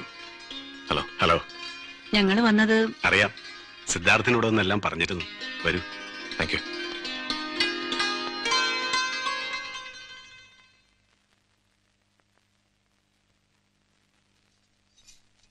ഹേമേ വേഗം റെഡിയാവ്. നീ ഏട്ടനെ അനുസരിക്കുന്നുള്ള വിശ്വാസത്തിൽ ഏട്ടൻ ഇവർക്ക് വാക്കു കൊടുക്കാൻ പോവാ. അപ്പോ ആർക്ക് പെണ്ണി ചോദിക്കാനാണ് നിങ്ങൾ ഇവിടെ വന്നിരിക്കുന്നത്? എന്റെ മോൻ സിദ്ധാർത്ഥന്. നോൺസെൻസ് കിടക്കു പുറത്ത്. ഇറങ്ങിപ്പോകാൻ. തലയ്ക്ക് വെളിവില്ലാത്ത അവന് മാത്രമാണെന്ന് കരുതി. കുടുംബത്തിൽ എല്ലാവർക്കും പൊട്ടാണെന്ന് ഇപ്പോഴാണ് മനസ്സിലായത്. വിളിച്ചു വരുത്തി ഇൻസൾട്ട് ചെയ്യാനോ? ആരാ ഇൻസൾട്ട് ചെയ്തത് ഞാനാണോ? എന്റെ പെങ്ങളുടെ കല്യാണം മുടക്കിയത് ഞാൻ സഹിച്ചു ക്ഷമിച്ചു. അനിയന് വേണ്ടി അവൻ വന്ന് പെണ്ണ് ചോദിച്ചപ്പോൾ ഞാനത് വിശ്വസിച്ചു. എന്നിട്ടിപ്പോ? എനിക്ക് വേണ്ടി പെണ്ണ് ചോദിക്കേ. മതി മതി. തലയ്ക്ക് സുഖമില്ലാത്തവന് പെണ്ണ് കിട്ടാൻ അനിയനെ കാണിച്ച് വഞ്ചിക്കല്ല വേണ്ടത്. കുറച്ചുകൂടെ മാനായിട്ട് സംസാരിക്കും. ചവിട്ടി പുറത്താക്കുന്നതിന് മുമ്പ് രണ്ടുപേരും ഇറങ്ങിപ്പോ. ഇറങ്ങിപ്പോടാ ഇനി ആ ഭ്രാന്തനെ ഈ വീട്ടുമുറ്റത്ത് കണ്ടാൽ പേപ്പട്ടിയെ തല്ലി കൊല്ലുന്ന പോലെ കൊല്ലും ഞാൻ അവനെ പറഞ്ഞേക്ക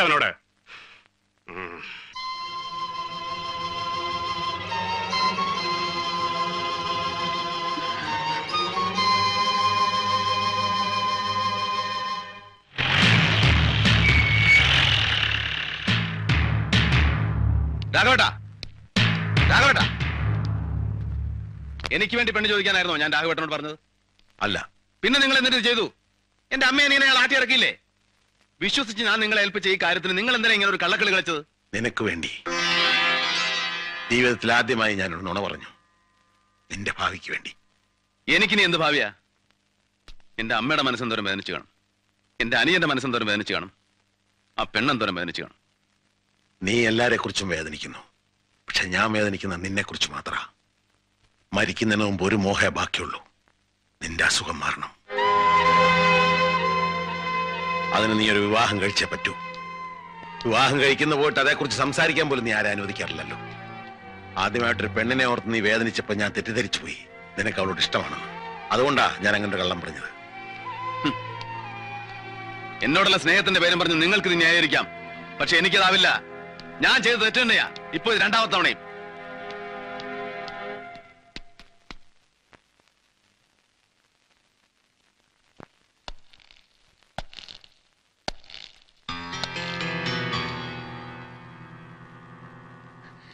എന്തിനാ ഇനി നിങ്ങൾ ഇങ്ങോട്ട് വന്നത്?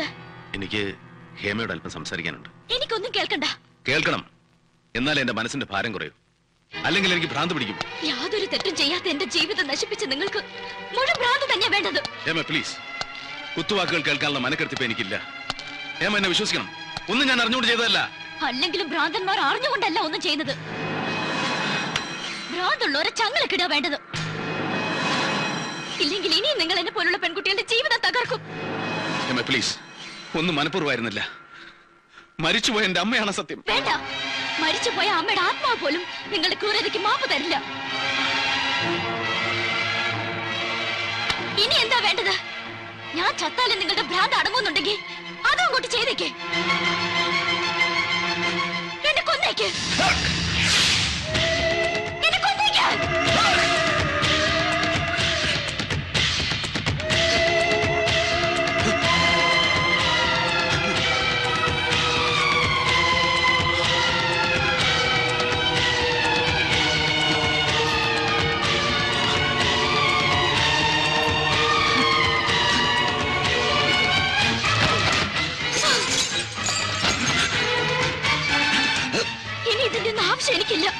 കൊണ്ടുപോയിക്കോ കൊണ്ടുപോയി സന്തോഷിക്കേ.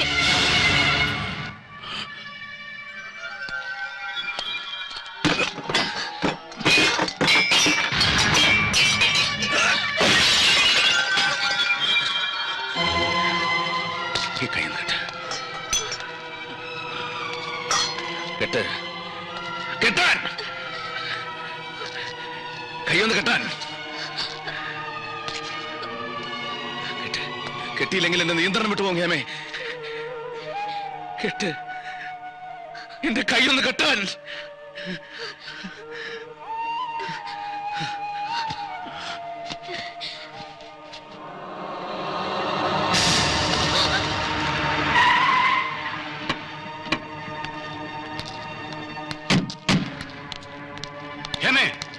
എവിടെയാ ഭ്രാന്തൻ? എവിടെ അവൻ?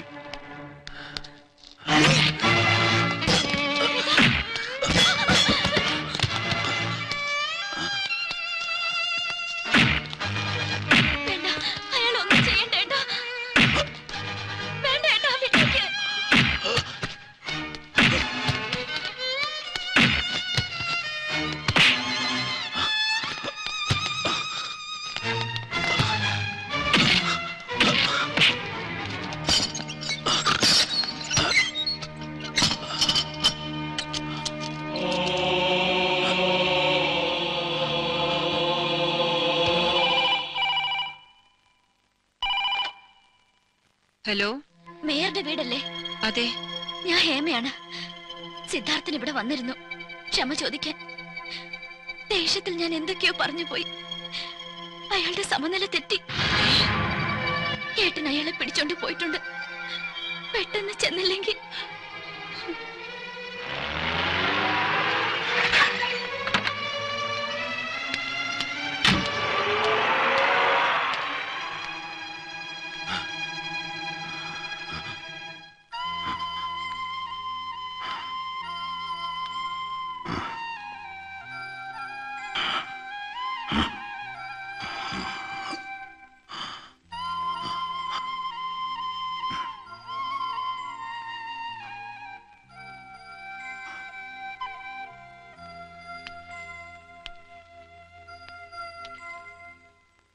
ഇത്രയും ക്രൂരത വേണ്ടായിരുന്നു എന്റെ മോനോട്. ഞാനും എന്റെ പെങ്ങളും അനുഭവിച്ചതിന്റെ ഒരംശം പോലും ആയിട്ടില്ല. എടോ അവനൊരു രോഗിയാണെന്ന് അറിഞ്ഞൂടെ തനിക്ക്? വേഗം തുറന്നുവിടവനെ നോ സാധ്യമല്ല. ഇന്നത്തെ കോടതി ടൈം കഴിഞ്ഞല്ലോ. നാളെ ഞായറാഴ്ച. സൺഡേ ഈസ് എ ഹോളിഡേ മറ്റന്നാൾ കോടതിയിൽ ഹാജരാക്കുമ്പോ ജാമ്യത്തിൽ ഇറക്കിക്കോ അതിനും മാത്രം എന്ത് കുറ്റാണ് താൻ അവന്റെ പേര് ചാർജ് ചെയ്തിരിക്കുന്നത്? അതെല്ലാം കോടതിക്ക് ബോധ്യം വരുന്ന രീതിയിൽ തന്നെ ചെയ്തിട്ടുണ്ട്. മേയറുടെ മകനാണ് സിദ്ധാർത്ഥൻ. ഏത് ദേവേന്ദ്രന്റെ മകനായാലും അവൻ ഇവിടെ രണ്ടു ദിവസം സെല്ലിൽ തന്നെ കിടക്കും.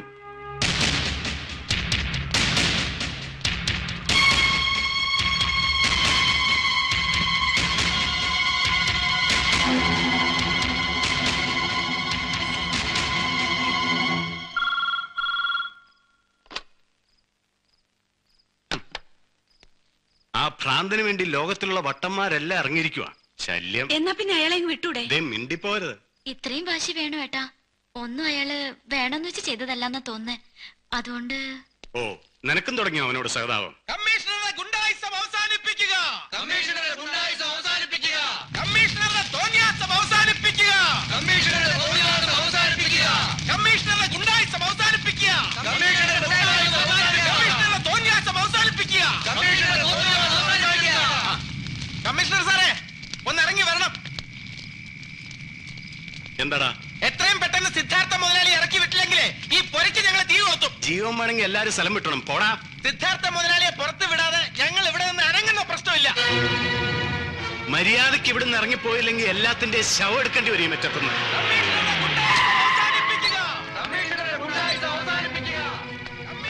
അടിച്ച് നിരപ്പാക്കണ്ട ആയുസ ആ സിദ്ധാർത്ഥന്റെ ഇലതൊക്കെ പട്ടികളാ. വരൂ. എടോ താൻ എന്തൊക്കെയാണ് ഈ കാട്ടിക്കൂട്ടുന്നത്? മിനിസ്റ്റർ ഐ ജി വിളിച്ചു പറഞ്ഞ ഞാനിപ്പോ കൊണ്ട് പോകുന്നത് എടോ രാജൻ അത് ഒന്നും പറയണ്ട. തന്റെ വികാരം ഞാൻ മനസ്സിലാക്കുന്നു. താൻ ആ സെല്ലിന്റെ കീഴെടുക്ക്. എടോ മേയർ ഹാർട്ട് അറ്റാക്ക് ആയിട്ട് ഹോസ്പിറ്റലാണ് എന്തും സംഭവിക്കാം. താൻ ആ സെല്ലിന്റെ കീഴെടുക്ക്. എടുക്കൂ.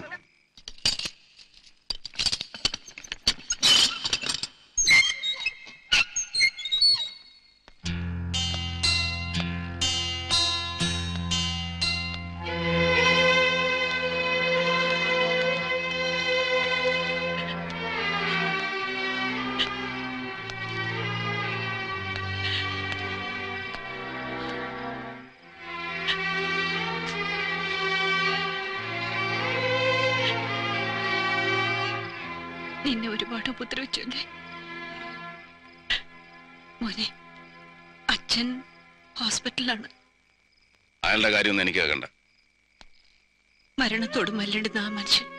ബോധം വന്നപ്പോ നിന്നെ മാത്രമാണ് ചോദിച്ചത്. എന്തിന്? കൊള്ളി വെക്കാൻ കൂടെ ഞാൻ ഉണ്ടാവില്ല എന്ന് അയാളുടെ മുഖത്ത് നോക്കി തന്നെ പറഞ്ഞിട്ടുള്ളതാണല്ലോ ഞാൻ. സിദ്ധാർത്ഥ മുതലാളി! നമുക്ക് അങ്ങോട്ട് പോവാം. വാ മോനെ. ചെറിയ മജൽ. മരിക്കാൻ നേരത്ത് വെള്ളം കൊടുക്കാൻ ആളുണ്ടായില്ല എന്ന് വേണ്ട. എന്നാൽ എനിക്കുണ്ട് പറയാൻ. ആ മനുഷ്യന് നിന്നെ കാണാതെ മരിക്കേണ്ട അവസ്ഥ വന്നാൽ ഒപ്പം എന്റെ ചിതയ്ക്കും കൂടെ നീ തീ കൊളുത്തേണ്ടി വരും.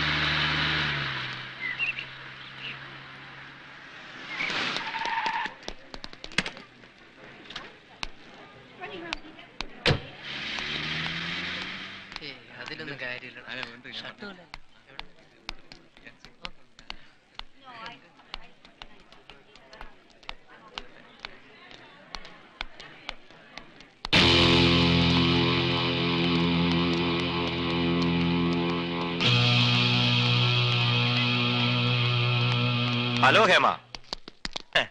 ഞാൻ പറഞ്ഞു ചെയ്തു. നിന്റെ കല്യാണം മുടക്കുമെന്ന്. ഇനി ഒന്നുകൂടിയേ ബാക്കിയുള്ളൂ.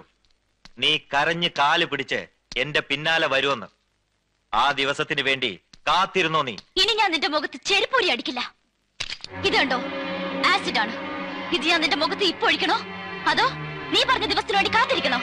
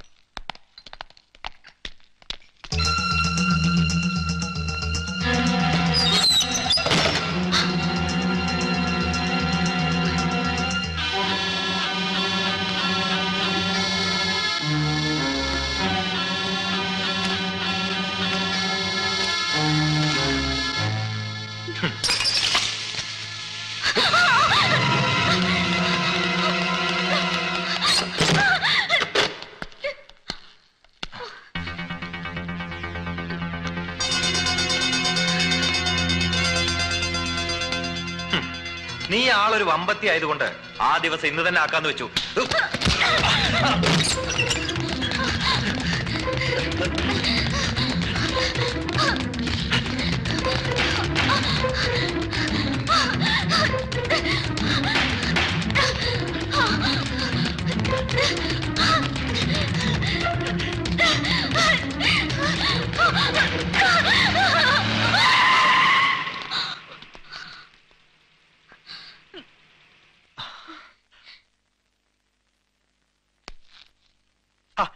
എന്തിനാ ഓടിയത്? ഞങ്ങൾ ഈ ബാഗ് തരാനും സോറി പറയാനും വേണ്ടിയല്ലേ വന്നത്. സോറിയോ ഇവളോടോ? ഉം. ഇവളോട് എനിക്ക് ഒരു അല്പം പക തീർക്കാനുണ്ട്. ഇവളുടെ ചേട്ടൻ എന്നെ തലിച്ചതച്ചെന്റെ പക. അയ്യോ എങ്കിൽ സത്യമായിട്ട് ഞങ്ങളും അതിനു വേണ്ടിയാ ഓടിച്ചത്. ഇവളുടെ അഹങ്കാരം ഇനിയും തീർന്നിട്ടില്ല സിദ്ധേട്ടാ. അതിപ്പോ തീർത്തു കൊടുക്കാം. നിന്റെയൊക്കെ ഉള്ളിലിരിപ്പ് പറയാൻ വേണ്ടി തന്നെയാണ് ഞാൻ അങ്ങനെ പറഞ്ഞത്. മേലാൽ ഇവളെ ഉപദ്രവിക്കാൻ ശ്രമിച്ചാൽ കൊത്തി നുറുക്കും ഞാൻ. ഒരു വട്ടനായതുകൊണ്ട് നിന്നെ കൊന്നാലും ഒരു കോടതി എന്നെ ശിക്ഷിക്കില്ല. ശിക്ഷിക്കോ? ഏമ കേറ്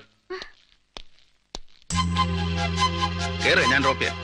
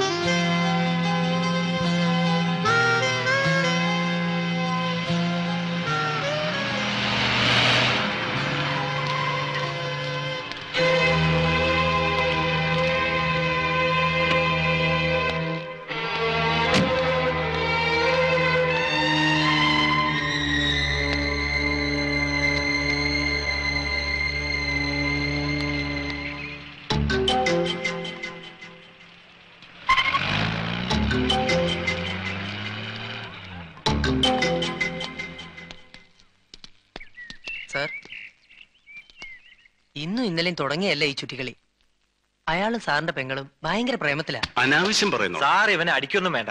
ഇവൻ പറഞ്ഞതാ സത്യം. അന്ന് അയാൾ ഇവനെ പോലും സ്വന്തം കാര്യത്തിന് കരുവാക്കിയതാ. കല്യാണം മുടക്കാൻ. അതെ സാർ.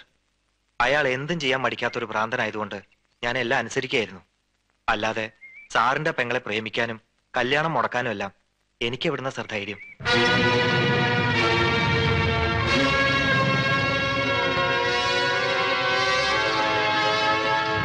ക്ഷമേ.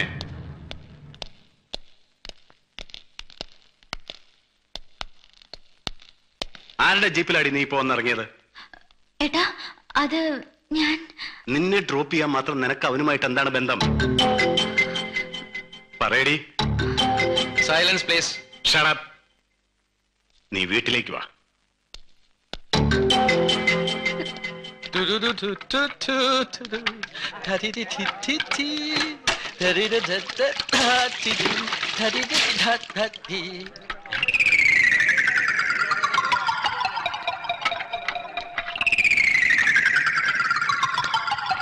അത് ശരി. എന്തൊക്കെ വീരവാദങ്ങളായിരുന്നു? പെണ്ണ് കിട്ടൂല അഥവാ കിട്ടിയാൽ തന്നെ കെട്ടൂല. കംപ്ലീറ്റ് പൊളിഞ്ഞ് പാളീസായല്ലോ മുതലാളി. തോ പകൽ ഹെ പകൽ പകൽ ഹെ. ആ ഞാൻ പറഞ്ഞു വിട്ടോ ഓ ശരി മുതലാളി.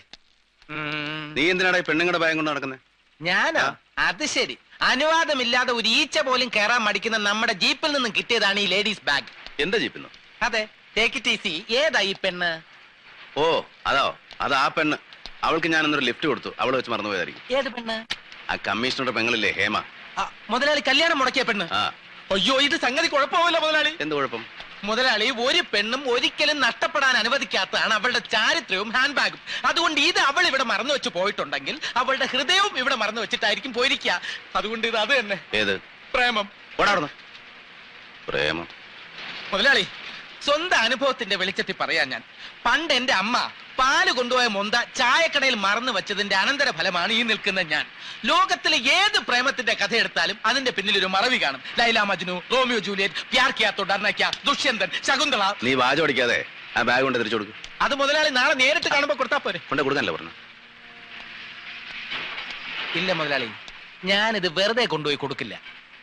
ഇതൊരു ലവ് സ്റ്റോറി ആക്കി മാറ്റിയിട്ടേ ഈ പവിത്രന് വിശ്രമമുള്ളൂ. പോയാൽ പവിത്രൻ ഒരു കളി കിട്ടിയ മുതലാളിക്ക് ഒരു പെണ്ണ്. ദിൽ तो पागल है पागल पागल है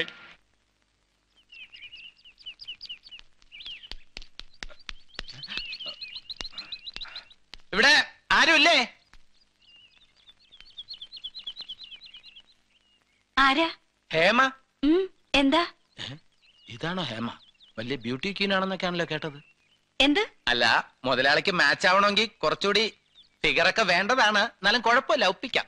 എന്തൊപ്പിക്കാന്നാ എന്താ തനിക്ക് വേണ്ടത്? അയ്യോ എന്നെ മനസ്സിലായില്ലേ? ഞാൻ പവിത്രൻ. സിദ്ധാർത്ഥ മുതലാളിയുടെ secretary cum all in all മാഡത്തിന്റെ ഈ ബാഗ് തിരിച്ചേൽപ്പിക്കാൻ വന്നതാ. എന്റെ ബാഗോ അയ്യോ ഇത് എന്റെ ബാഗാണല്ലോ അപ്പൊ ഇതാണോ ഹേമ? അതെ. മാച്ച് ആവും മാച്ച് ആവും. നല്ല ബെസ്റ്റ് ആയിട്ട് മാച്ച് നിങ്ങൾക്ക് ഇത് എങ്ങനെ കിട്ടി? മുതലാളി കോളേജ് ലിഫ്റ്റ് ബാഗ് ഫർഗറ്റ് ഇയാൾ ഇത് എന്തൊക്കെയാ പറയുന്നേ? അത് ഞാൻ ഞാൻ പറയാം. ഈ കുട്ടി എന്നും എന്റെ മുതലാളിയുടെ ജീപ്പിലാ കോളേജിൽ പോവാറ്. ഇന്ന് ജീപ്പ് വെച്ച് ഈ ബാഗ് മറന്നു. അത്രേ ഉള്ളൂ.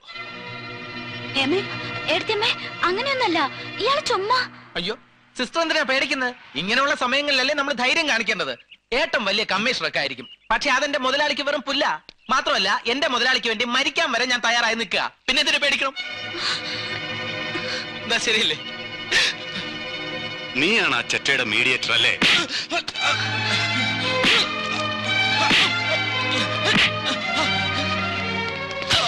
ഏട്ടാ അയാൾ അടിക്കണ്ട. ബോധമില്ലാതെ എന്തൊക്കെയോ പറയാ? നല്ല ബോധത്തോടെ പറയുന്നത് എന്റെ മുതലാളി ജീവന് തുല്യം സ്നേഹിക്കുന്നുണ്ട് ഈ കുട്ടി. ഏട്ടാ ഞാൻ പറയുന്നത് വിശ്വസിക്ക്. എനിക്ക് അയാളോട് അയാൾക്ക് എന്നോട് ഒന്നുമില്ല. മിണ്ടരുത്. എല്ലാം നേരിക്കണ്ട എന്നോടാണോ കള്ളം പറയുന്നത്? ഏട്ടൻ എന്ത് നേരിൽ കണ്ടുന്നാ? അയാളുടെ ജീപ്പിൽ ഞാൻ വന്ന് ഇറങ്ങിയതോ ഇറങ്ങിയത് സത്യോ? പക്ഷെ അതിലപ്പുറം ഒന്നുമില്ല. വേണ്ട. എല്ലാരും കൂടി എന്നെ പൊട്ടനാക്കണ്ട. കല്യാണം മുടക്കിച്ചതും അനിയന് വേണ്ടി കല്യാണം ആലോചിച്ചതും നീയും കൂടെ ചേർന്നിട്ടാണെന്ന് ഇപ്പൊ എനിക്ക് മനസ്സിലായി. പറയടി എത്ര കാലമായി നീ അവനുമായിട്ട് അടുപ്പത്തിലായിട്ട്? പറയടി എത്ര കാലമായെന്ന്? അപ്പോ? എന്നെയും ഞാൻ പറയുന്നത് ഏട്ടന് വിശ്വാസമല്ല? ഇല്ല. എനിക്ക് നിന്നെ വിശ്വാസമില്ല. എങ്കിൽ ഏട്ടൻ അങ്ങനെ തന്നെ വിശ്വസിച്ചോ? എനിക്ക് അയാളോട് സ്നേഹമാണെന്ന് തന്നെ വിശ്വസിച്ചോ? ഇപ്പൊ സത്യം മനസ്സിലായല്ലോ? ഇനി പോലീസ് അല്ല പട്ടാളം വന്നാലും ഇവരുടെ ബന്ധം തകർക്കാനാവില്ല. എന്താ ചെയ്യാനുള്ളതെന്ന് വെച്ചാൽ ചെയ്യ്.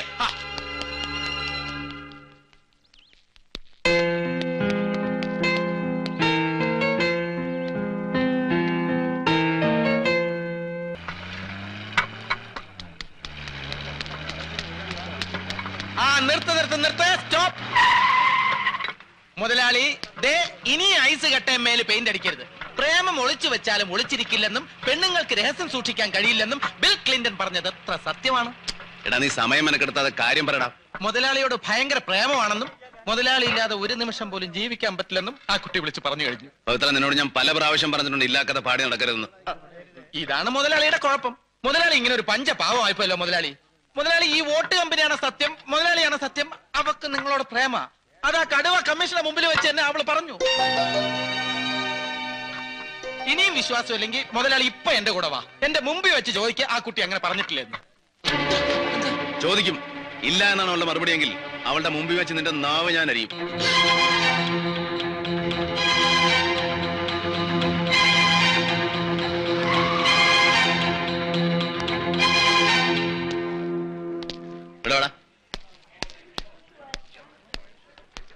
ഇവനൊരു കാര്യമെന്ന് എന്നോട് പറഞ്ഞു. അത് കള്ളമാണെങ്കിൽ ഇവന്റെ നാവ് ഇവിടെ വെച്ച് ഞാൻ അറിയും എന്ത് കാര്യം? പറടാ. കുട്ടി ഇന്നലെ ഏട്ടനോട് പറഞ്ഞില്ലേ സിദ്ധാർത്ഥ മുതലാളി ആട്ടം ആണെന്ന് പ്രേമം. പറഞ്ഞില്ലേ? എന്റെ നാക്കിപ്പോ പ്ലീസ് പറ. അവിടെ പറഞ്ഞത് ഇവിടെ പറഞ്ഞാ മതി. ഞാനങ്ങനെ പറഞ്ഞു എന്നുള്ളത് സത്യമാ.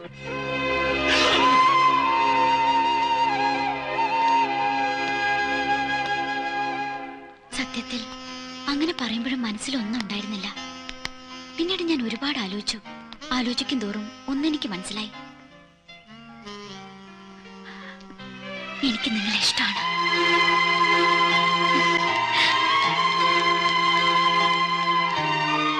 Take it easy.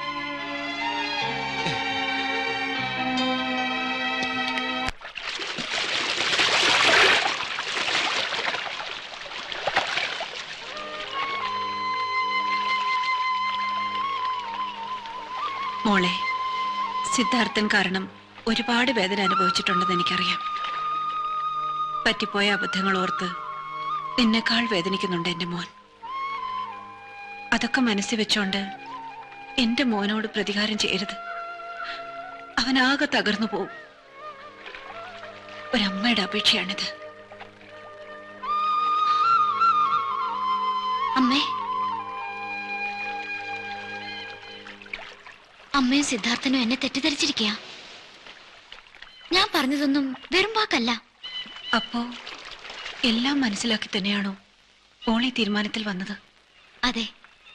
ഞാൻ സിദ്ധാർത്ഥനെ ശരിക്കും മനസ്സിലാക്കി. ഒരുപാട് നന്മയുള്ള മനസ്സാണത്. ആ മനസ്സ് ഞാൻ ഒരിക്കലും വേദനിപ്പിക്കില്ല. മോളെ സുഖമില്ലാത്ത കുട്ടിയെ നോക്കാൻ ഒരു രണ്ടാം കെട്ടുകാരന്റെ ഭാര്യയായ ഞാനാണ്.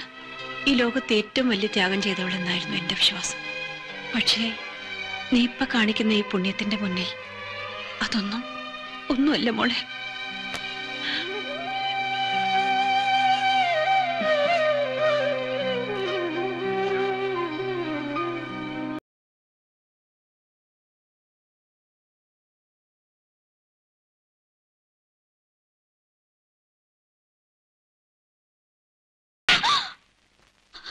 അവനോടൊപ്പം ജീവിക്കാൻ ഞാൻ നിന്നെ അനുവദിക്കില്ല.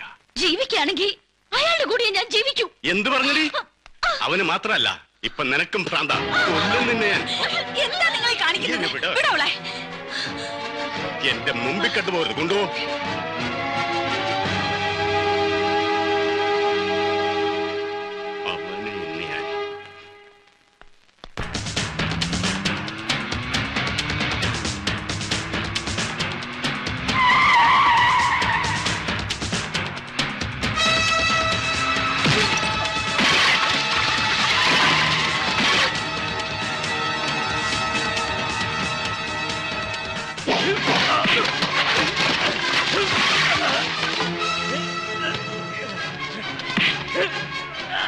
മാറുക.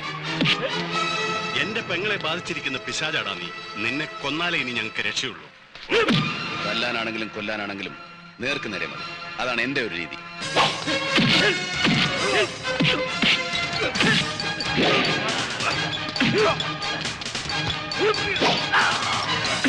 Yeah.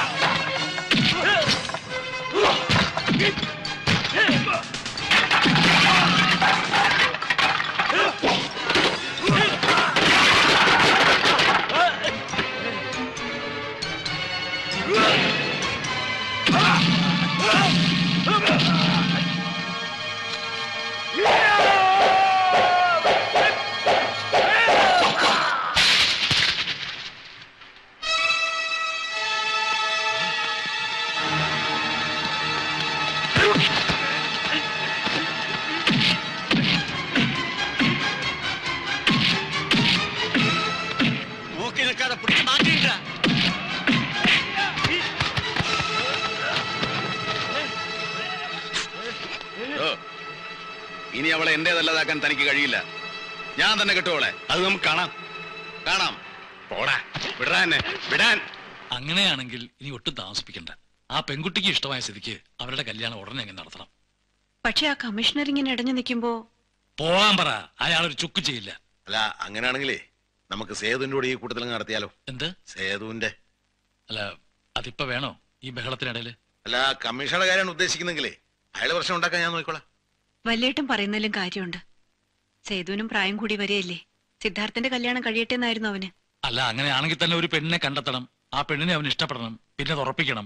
പെണ്ണിനെയൊക്കെ ഞാൻ കണ്ടുവച്ചിട്ടുണ്ട് ഈ കാര്യത്തിൽ അളിയന്റെ ഇഷ്ടം കൂടെ ഒന്ന് അറിഞ്ഞാ മതി. അത് ഈ പെണ്ണ് ആരാണെന്ന് അറിയാതെ എങ്ങനെ ഇഷ്ടമാണോന്ന് പറയാ? അളിയൻ അറിയും? എന്റെ മോൾ രാധിക. ഇഷ്ടപ്പെട്ടില്ലെന്നുണ്ടോ? ഇങ്ങനെ ഒരു ചിന്ത എന്റെ മനസ്സിൽ ഉണ്ടായില്ലല്ലോ എന്നുള്ളതാണ് എന്റെ വിഷയം. എന്തു പറയുന്നു? സേതുവിന് ചേരുന്ന കുട്ടിയാ രാധിക. നമുക്ക് ഈ രണ്ട് കല്യാണം ഒന്നിച്ച് നടത്തിയാലോ? അത് ഇനി ഒന്നും ആലോചിക്കാനില്ലല്ലയാ നമുക്കിതങ്ങ് നടത്താം. ഈ അളിയൻ കാര്യങ്ങൾ നീക്കിക്കോട്ടെ. ശരി നമുക്ക് ഈ രണ്ട് കല്യാണവും ഗംഭീരമായിട്ട് നടത്താം. ഇത് നമ്മൾ ഗംഭീരമായി കൊണ്ടാടിയേ പറ്റൂ സുഹൃത്തുക്കളെ. പണ്ട് വിശ്വാമിത്രന്റെ തപസ്സിളക്കാൻ ഒരു മേനക വേണ്ടി വന്നുവെങ്കിൽ ഇവിടെ നമ്മുടെ മുതലാളിയുടെ തപസ്സിളക്കാൻ ഒരു മെഡിക്കൽ സുന്ദരി വേണ്ടി വന്നു. ഒപ്പം എന്റെ കോച്ചിങ് കൂടി ആയപ്പോൾ മുതലാളിയുടെ മനസ്സാടി ഉലഞ്ഞു. എന്ത് തോന്നിയോ സാറേ നീ കാണിക്കണേ? പുളകം കൊള്ളിക്കുന്ന ഒരു വാർത്ത എവരെ അറിയിക്കുന്ന എങ്ങനെയാണ് ബൈ തോന്നിയാസാവുന്നത്? നിർത്തടാ. ജോലി വേണ്ടാന്ന് പറഞ്ഞ് ഇറങ്ങിപ്പോയി നിന്നെ ആരാടാ കമ്പനിക്കകത്ത് കയറ്റിവിട്ട്? അതും പോരാഞ്ഞ് മറ്റുള്ളവരെ ജോലി നിർത്തി വെപ്പിച്ചുകൊണ്ട് അവന്റെ ഒരു പ്രസംഗം. മുതലാളിയുടെ കല്യാണ വാർത്ത തൊഴിലാളികൾക്കെല്ലാം സന്തോഷമുള്ള ഒരു കാര്യമല്ലേ? അതിന്റെ പേരിൽ ഒരു പത്ത് മിനിറ്റ് ആഘോഷിച്ചെന്ന് എഴുതി കമ്പനിക്ക് വലിയ നഷ്ടമൊന്നും ഉണ്ടാവാൻ പോണില്ല ടേക്ക് ഇറ്റ് ഈസി നഷ്ടവും ലാഭം തീരുമാനിക്കാൻ നീ ആരടാ? ദേഹത്തോട്ടുള്ള കളി വേണ്ട. കൈ നീ എന്തിയോടാ? കൈയെടുക്കാനാ പറഞ്ഞത്. എന്തിയോടാ പട്ടി? മാറങ്ങോട്ട് പിടിച്ചു പുറത്താക്കടാ. എടാ നിനക്കൊക്കെ ശമ്പളം തരുന്നത് ഞാനാ പറയുന്നത്. പിടിച്ചു പുറത്താക്കാൻ. പിടിച്ചു പുറത്താക്കവനെ വെറുതെ വിളിച്ചു പോയി അണ്ണാക്കിലെ വെള്ളം വറ്റിക്കണ്ട. ഞങ്ങളെ തമ്മിലടുപ്പിക്കാനൊന്നും തന്നെ കൊണ്ടാവില്ല. അതിന് വേറെ എം ബി എടുക്കേണ്ടി വരും.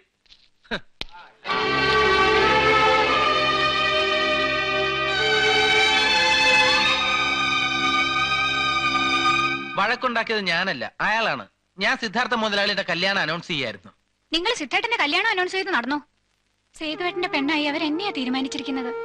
എന്തിനും നമുക്ക് വഴിയുണ്ടാക്കാം. നീ ഒന്ന് ധൈര്യമായിട്ടിരിക്കുക പവിയേട്ടനല്ല നിസ്സാര. എനിക്ക് മനസ്സിന് യാതൊരു സമാധാനവും ഇല്ല ഞാൻ പറഞ്ഞിട്ടില്ലേ എന്തിനും ഒരു ടേക്ക് ഇറ്റ് ഈസി പോളിസിയാ വേണ്ടത്? നീ ഈ ടെൻഷനൊക്കെ മാറ്റി വെച്ച് ഒന്ന് ചിരിച്ചേ. പവിയേട്ട ഞാനിന്ന് ചിരിക്കാനൊന്നും പറ്റിയ മൂഡിലല്ല. ചിരിപ്പിക്കാൻ പറ്റുമോ ഞാനൊന്ന് നോക്കട്ടെ. എന്താ ഇത്? എന്താ പവിയേട്ട ഇത്? വേണ്ട വേണ്ട. പവിയേട്ട ദേ സിദ്ധേട്ടൻ. ഇനി ആ നമ്പർ ഒന്നും എന്റെ അടുത്ത് വേണ്ട. വിടാനാ പറഞ്ഞത്. എന്നെ വിടാനാ പറഞ്ഞത്. എന്താ ഇത് പവിയേട്ട? എന്നെ വിടാനാ പറഞ്ഞത്. വിട് പവിയേട്ട. കേട്ടോ നോയേ. മുതലാളി ഞാനൊന്ന് പറഞ്ഞോട്ടെ. ഒന്നും പറയണ്ടടാ. നീ സേതുവിനെ അടിച്ചു എന്നറിഞ്ഞപ്പോ അത് വിശ്വസിക്കാത്തവനാണ് ഞാൻ. ഇപ്പൊ എനിക്ക് ബോധ്യമായടാ ഇത്രയും നാളെ ഒരു നന്ദി കെട്ട പട്ടിയാണ് ഞാൻ വീട്ടിൽ പൊതിയെന്ന്.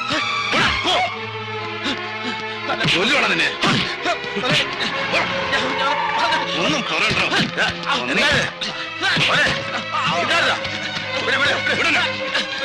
രാഘവട്ടവന്റെ കുടുംബത്തെ കയറ്റാൻ കൊള്ളാത്തവനാ.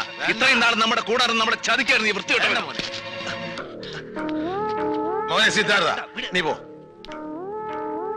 ഇനി എനിക്ക് കാണണ്ട തന്നെ എവിടെയെങ്കിലും പൊയ്ക്കോ. ഇനി എന്റെ മുമ്പിൽ വന്ന നിന്റെ ശവം പോലും ഞാൻ ബാക്കി വെച്ചേക്കില്ല. കൊന്ന് കടലിലെറിയും ഞാൻ. നായേ.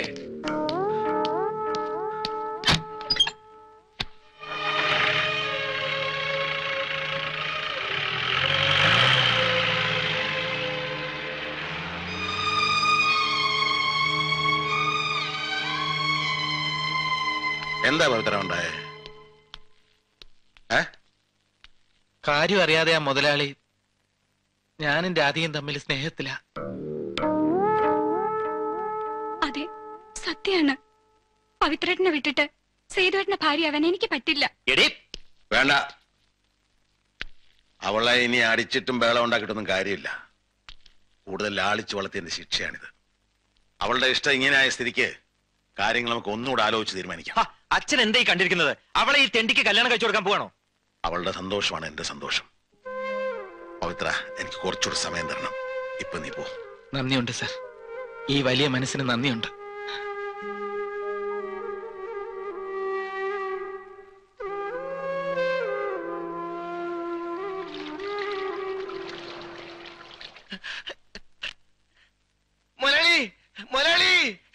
മുതലാളി. എന്താടോ? ഏ? മുതലാളി മുതലാളി. എന്താടോ? നമ്മുടെ പവിത്രം മരിച്ചു മുതലാളി. വെല്ലു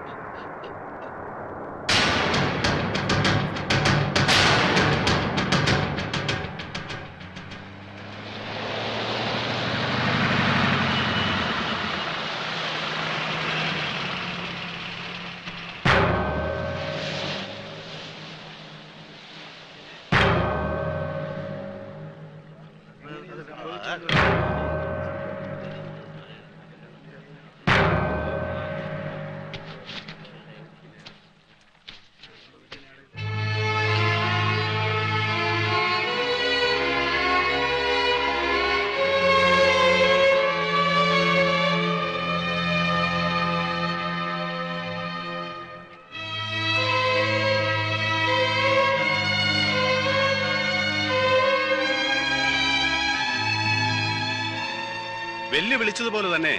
നീ അവനെ കൊന്നുവല്ലേ? നിന്നെ ഒതുക്കാൻ ഒരു വഴി അന്വേഷിച്ച് നടക്കുകയായിരുന്നു ഞാൻ. ദൈവം അത് ഇത്ര പെട്ടെന്ന് തരുമെന്ന് ഞാൻ കരുതിയില്ല. സോമൻ. സർ. ഈ തോക്ക് നിന്റെ അല്ലേ അതെ. ഈ തോക്ക് കൊണ്ട് നീ അവനെ വെടിവെച്ച് വീഴ്ത്തിയതിന് ശേഷം പട്ടിയെപ്പോലെ അടിച്ചു കൊല്ലുകയായിരുന്നെന്ന് ദൃക്സാക്ഷിയെ ബാലു മൊഴിയും നൽകിയിട്ടുണ്ട്. എനിക്ക് നിന്നെ കുറച്ച് ചോദ്യം ചെയ്യാനുണ്ട്. ജീപ്പിലേക്ക് സാർ കേരള ജീപ്പ്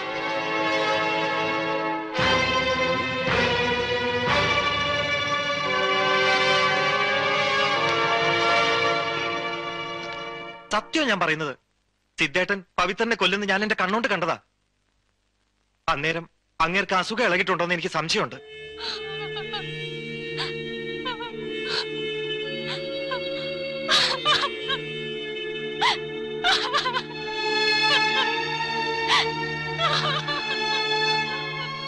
കരയാതെ മോളെ.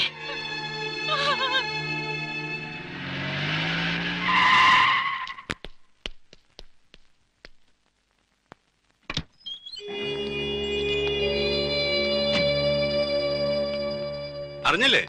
മോൻ സുന്ദരമായ ഒരു കൊലപാതകം ചെയ്തിട്ട് വന്നിരിക്കുക ഇല്ല ചെറിയ ഇയാൾ പ്രതികാരം ചെയ്യാണ്. അങ്ങനെയെങ്കിൽ അങ്ങനെ. പൗത്രനെ കൊന്നതിന് വേണമെങ്കിൽ ഇപ്പൊ എനിക്ക് ഇവനെ അറസ്റ്റ് ചെയ്യാം. പക്ഷെ ഞാനത് ചെയ്യില്ല.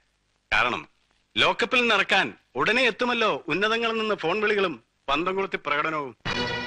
നിങ്ങൾ ഇനി എത്ര ശ്രമിച്ചാലും മോനി കേസിൽ നിന്ന് രക്ഷപ്പെടില്ല. ഇവന് തൂക്കയർ ഉറപ്പാക്കാൻ വേണ്ടി എല്ലാ തെളിവുകളും ഉണ്ടാക്കിയിട്ടേ ഞാൻ ഇവനെ അറസ്റ്റ് ചെയ്യുള്ളൂ. കാണാം.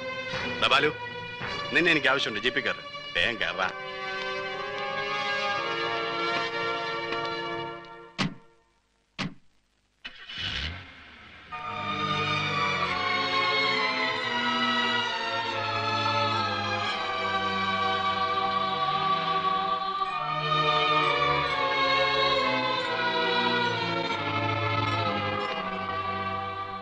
തെറ്റ് ചെയ്തിട്ട്? നിങ്ങൾ എന്റെ പവിത്രേട്ടനെ കൊന്നത്? മോളെ ഞാനല്ല പവിത്രനെ കൊന്നത്. നിങ്ങൾ ഇത്ര ദുഷ്ടനാണെന്ന് ഞാൻ അറിഞ്ഞിരുന്നില്ല.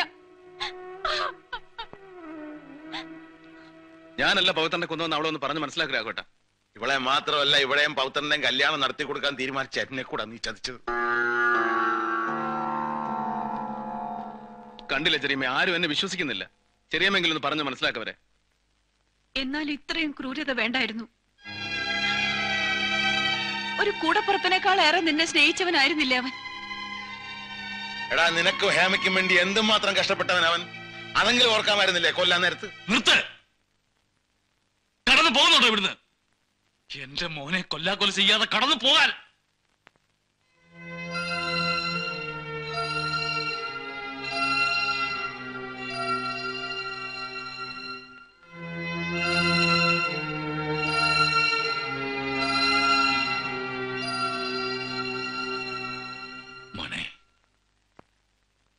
ആരൊക്കെ നിന്നെ അവിശ്വസിച്ചാലും പവിത്രനെ കൊന്ന നീയല്ല എന്ന് ഞാൻ വിശ്വസിക്കും. മറ്റാരേക്കാളും കൂടുതൽ നിന്റെ ഇപ്പോഴത്തെ അവസ്ഥ എനിക്കേ മനസ്സിലാവൂ. കഴിഞ്ഞ പത്തിരുപത്തഞ്ച് വർഷമായിട്ട് ഞാൻ അനുഭവിക്കുന്ന വേദനയാണ് നീ അനുഭവിക്കുന്നത്.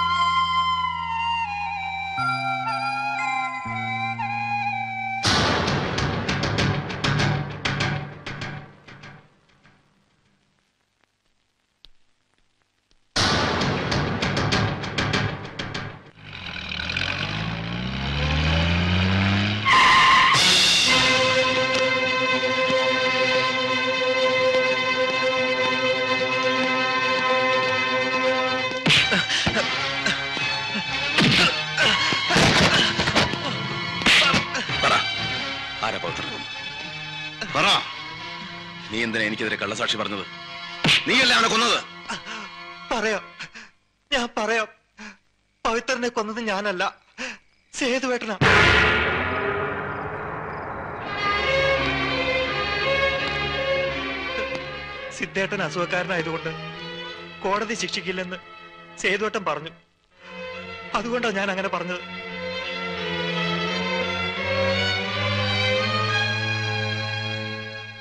ഇപ്പൊ നീ എന്നോട് പറഞ്ഞൊന്നും ഇനി മറ്റാരോടും പറയരുത്.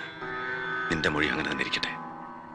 കൊന്നത് ഞാൻ തന്നെയാണെന്ന് വന്നാൽ മതി. ഈ കേസിൽ തീർച്ചയായും അവന് ശിക്ഷ കിട്ടും. പിന്നെ പതിനെട്ട് വർഷം അവൻ പുറം ലോകം കാണില്ല. അങ്ങനെ ഒരുത്തിനു വേണ്ടി ജീവിതം നശിപ്പിക്കാൻ മാത്രം എന്റെ പെങ്ങൾ വിഡ്ഢിയല്ലല്ലോ. ഈ പറഞ്ഞതെല്ലാം ഏട്ടന്റെ വെറും തോന്നലാ. സിദ്ധാർത്ഥനെ ആർക്കും ഒന്നും ചെയ്യാൻ പറ്റില്ല. മോളെ അവനെതിരെയുള്ള എല്ലാ തെളിവുകളും ഇതിനകത്തുണ്ട്. ഞാനേ അവനെ അറസ്റ്റ് ചെയ്യാൻ പോവാ.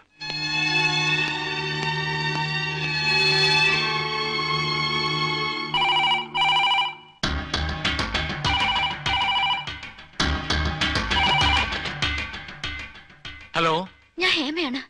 സിദ്ധാർത്ഥനെ അറസ്റ്റ് ചെയ്യാനായിട്ടുള്ള എല്ലാ തെളിവുകളും ഏട്ടൻ ശേഖരിച്ചു കഴിഞ്ഞു. വേഗം എന്തെങ്കിലും ഒന്ന് ചെയ്യണം. പ്ലീസ്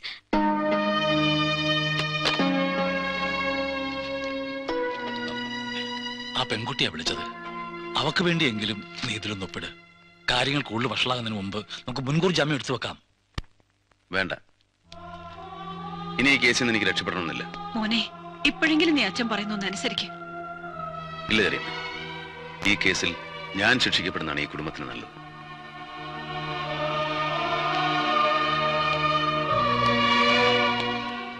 സേതു നീ എന്നും പരാതിപ്പെടാറില്ലേ? കുട്ടിക്കാലം മുതലേ ഞാൻ എന്ത് തെറ്റെയ്താലും അടിയും ശിക്ഷയും ഒക്കെ നിനക്കാണെന്ന്. അതിനൊക്കെ പരിഹാരമായിട്ട് ഞാൻ ചെയ്താണെന്ന് കരുതിയാൽ മതി. ഈ ശിക്ഷ എനിക്കിരിക്കട്ടെ. ഏട്ടാ ഏട്ടൻ എന്തൊക്കെയാ പറയുന്നത്? ബാലു എല്ലാം എന്നോട് തുറന്നു പറഞ്ഞു. എന്നാലും ഇത്രയും വലിയ ക്രൂരത ആ പാവം പാവത്തിനോട് കാണിക്കേണ്ടിയിരുന്നില്ല.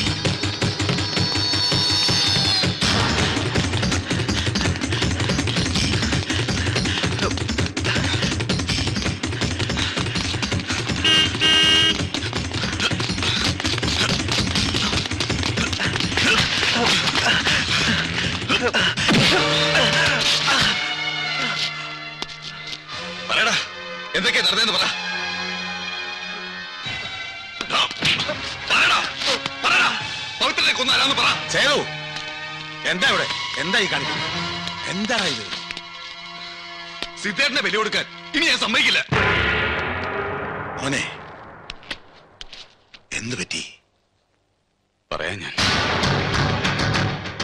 എല്ലാം ഞാൻ പറയാം. അന്ന് ആരും കാണാതെ തോക്ക് ഇവൻ ഇവിടുന്ന് എടുത്തുകൊണ്ട് വന്ന് ഞാൻ കണ്ട.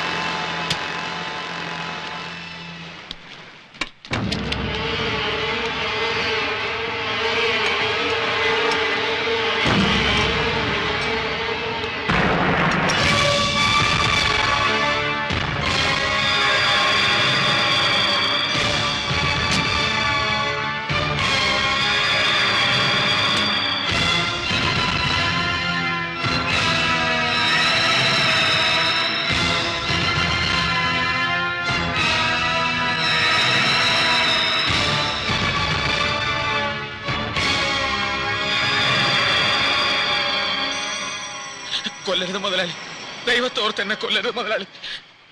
പിന്നെ ഞാൻ എന്റെ മോളെ നിനക്ക് കെട്ടിച്ചു തരണം. ഒരുപാട് കാലത്തെ മോഹങ്ങളും കണക്കൂട്ടിലും അടാ സേതു അവളും തമ്മിലുള്ള വിവാഹം. എന്നും എന്റെ മുന്നിൽ തടസ്സം നിന്നുവരെയൊക്കെ ഞാൻ ചെത്തി മാറ്റിട്ടേ ഉള്ളൂ. ആ രഹസ്യങ്ങളൊന്നും ഇന്ന് വരെ ഒരു കുഞ്ഞു പോലും അറിഞ്ഞിട്ടില്ല. ഇരുപത്തഞ്ച് വർഷമായടാ ഞാൻ ഈ കളി തുടങ്ങിയിട്ട്. അറിയണോ നിനക്ക്?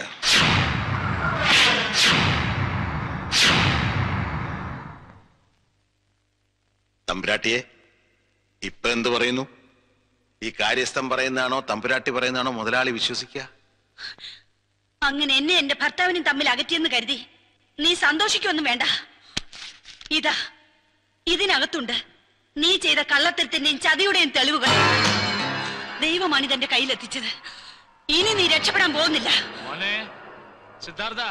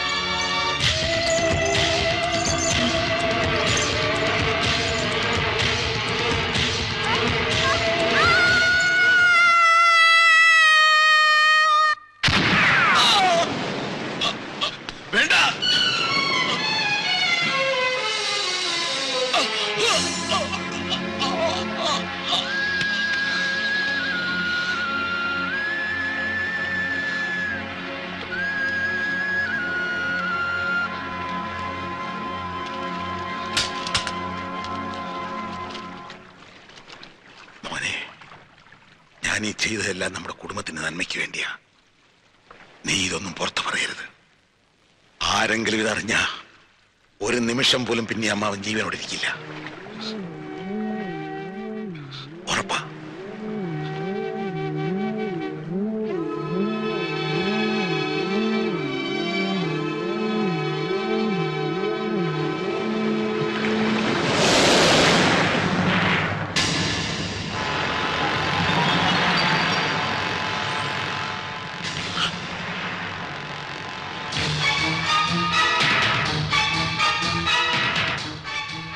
വിശ്വസിക്കരുത്.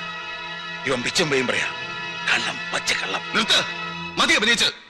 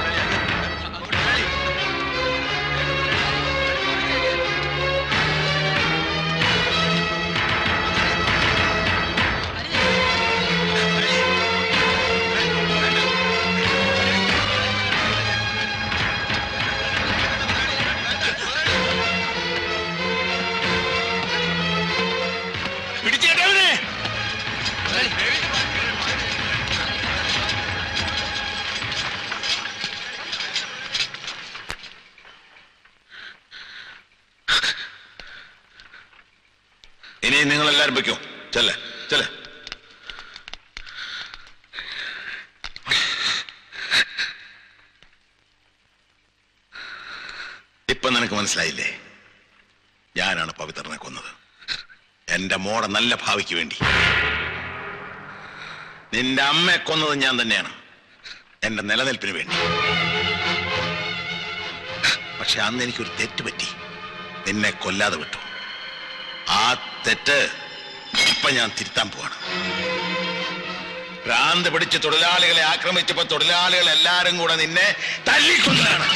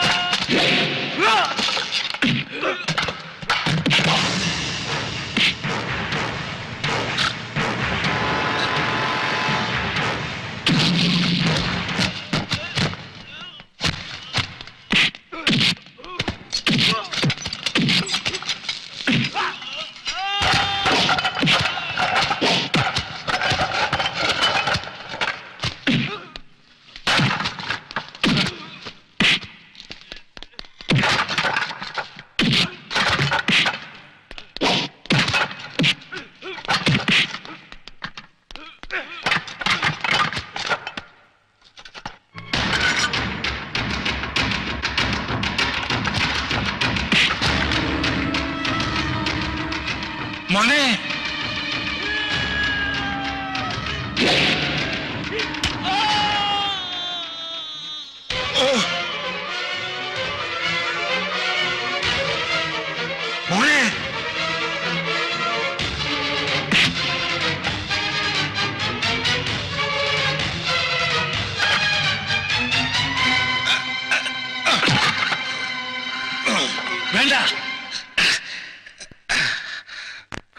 കൊന്നാൽ അവന്റെ ശിക്ഷ കുറഞ്ഞു പോകും അവൻ ജീവിക്കണം. ഒരു മകൻ നഷ്ടപ്പെട്ട വേദന തിന്നവൻ ജീവിക്കണം.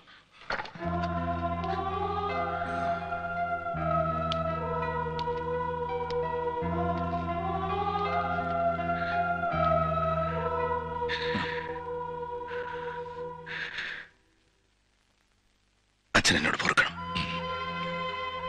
ഇരുപത്തഞ്ച് വർഷത്തിന് ശേഷമാണ് നീ എന്നെ അച്ഛാന്ന് വിളിക്കുന്നതും എന്നോട് സംസാരിക്കുന്നതും. മതി. എനിക്കത് മതി. ഇത്രയും കാലം അടക്കി വെച്ച സ്നേഹം മുഴുവൻ ഇനി എനിക്കുള്ളതല്ലേ മോനെ?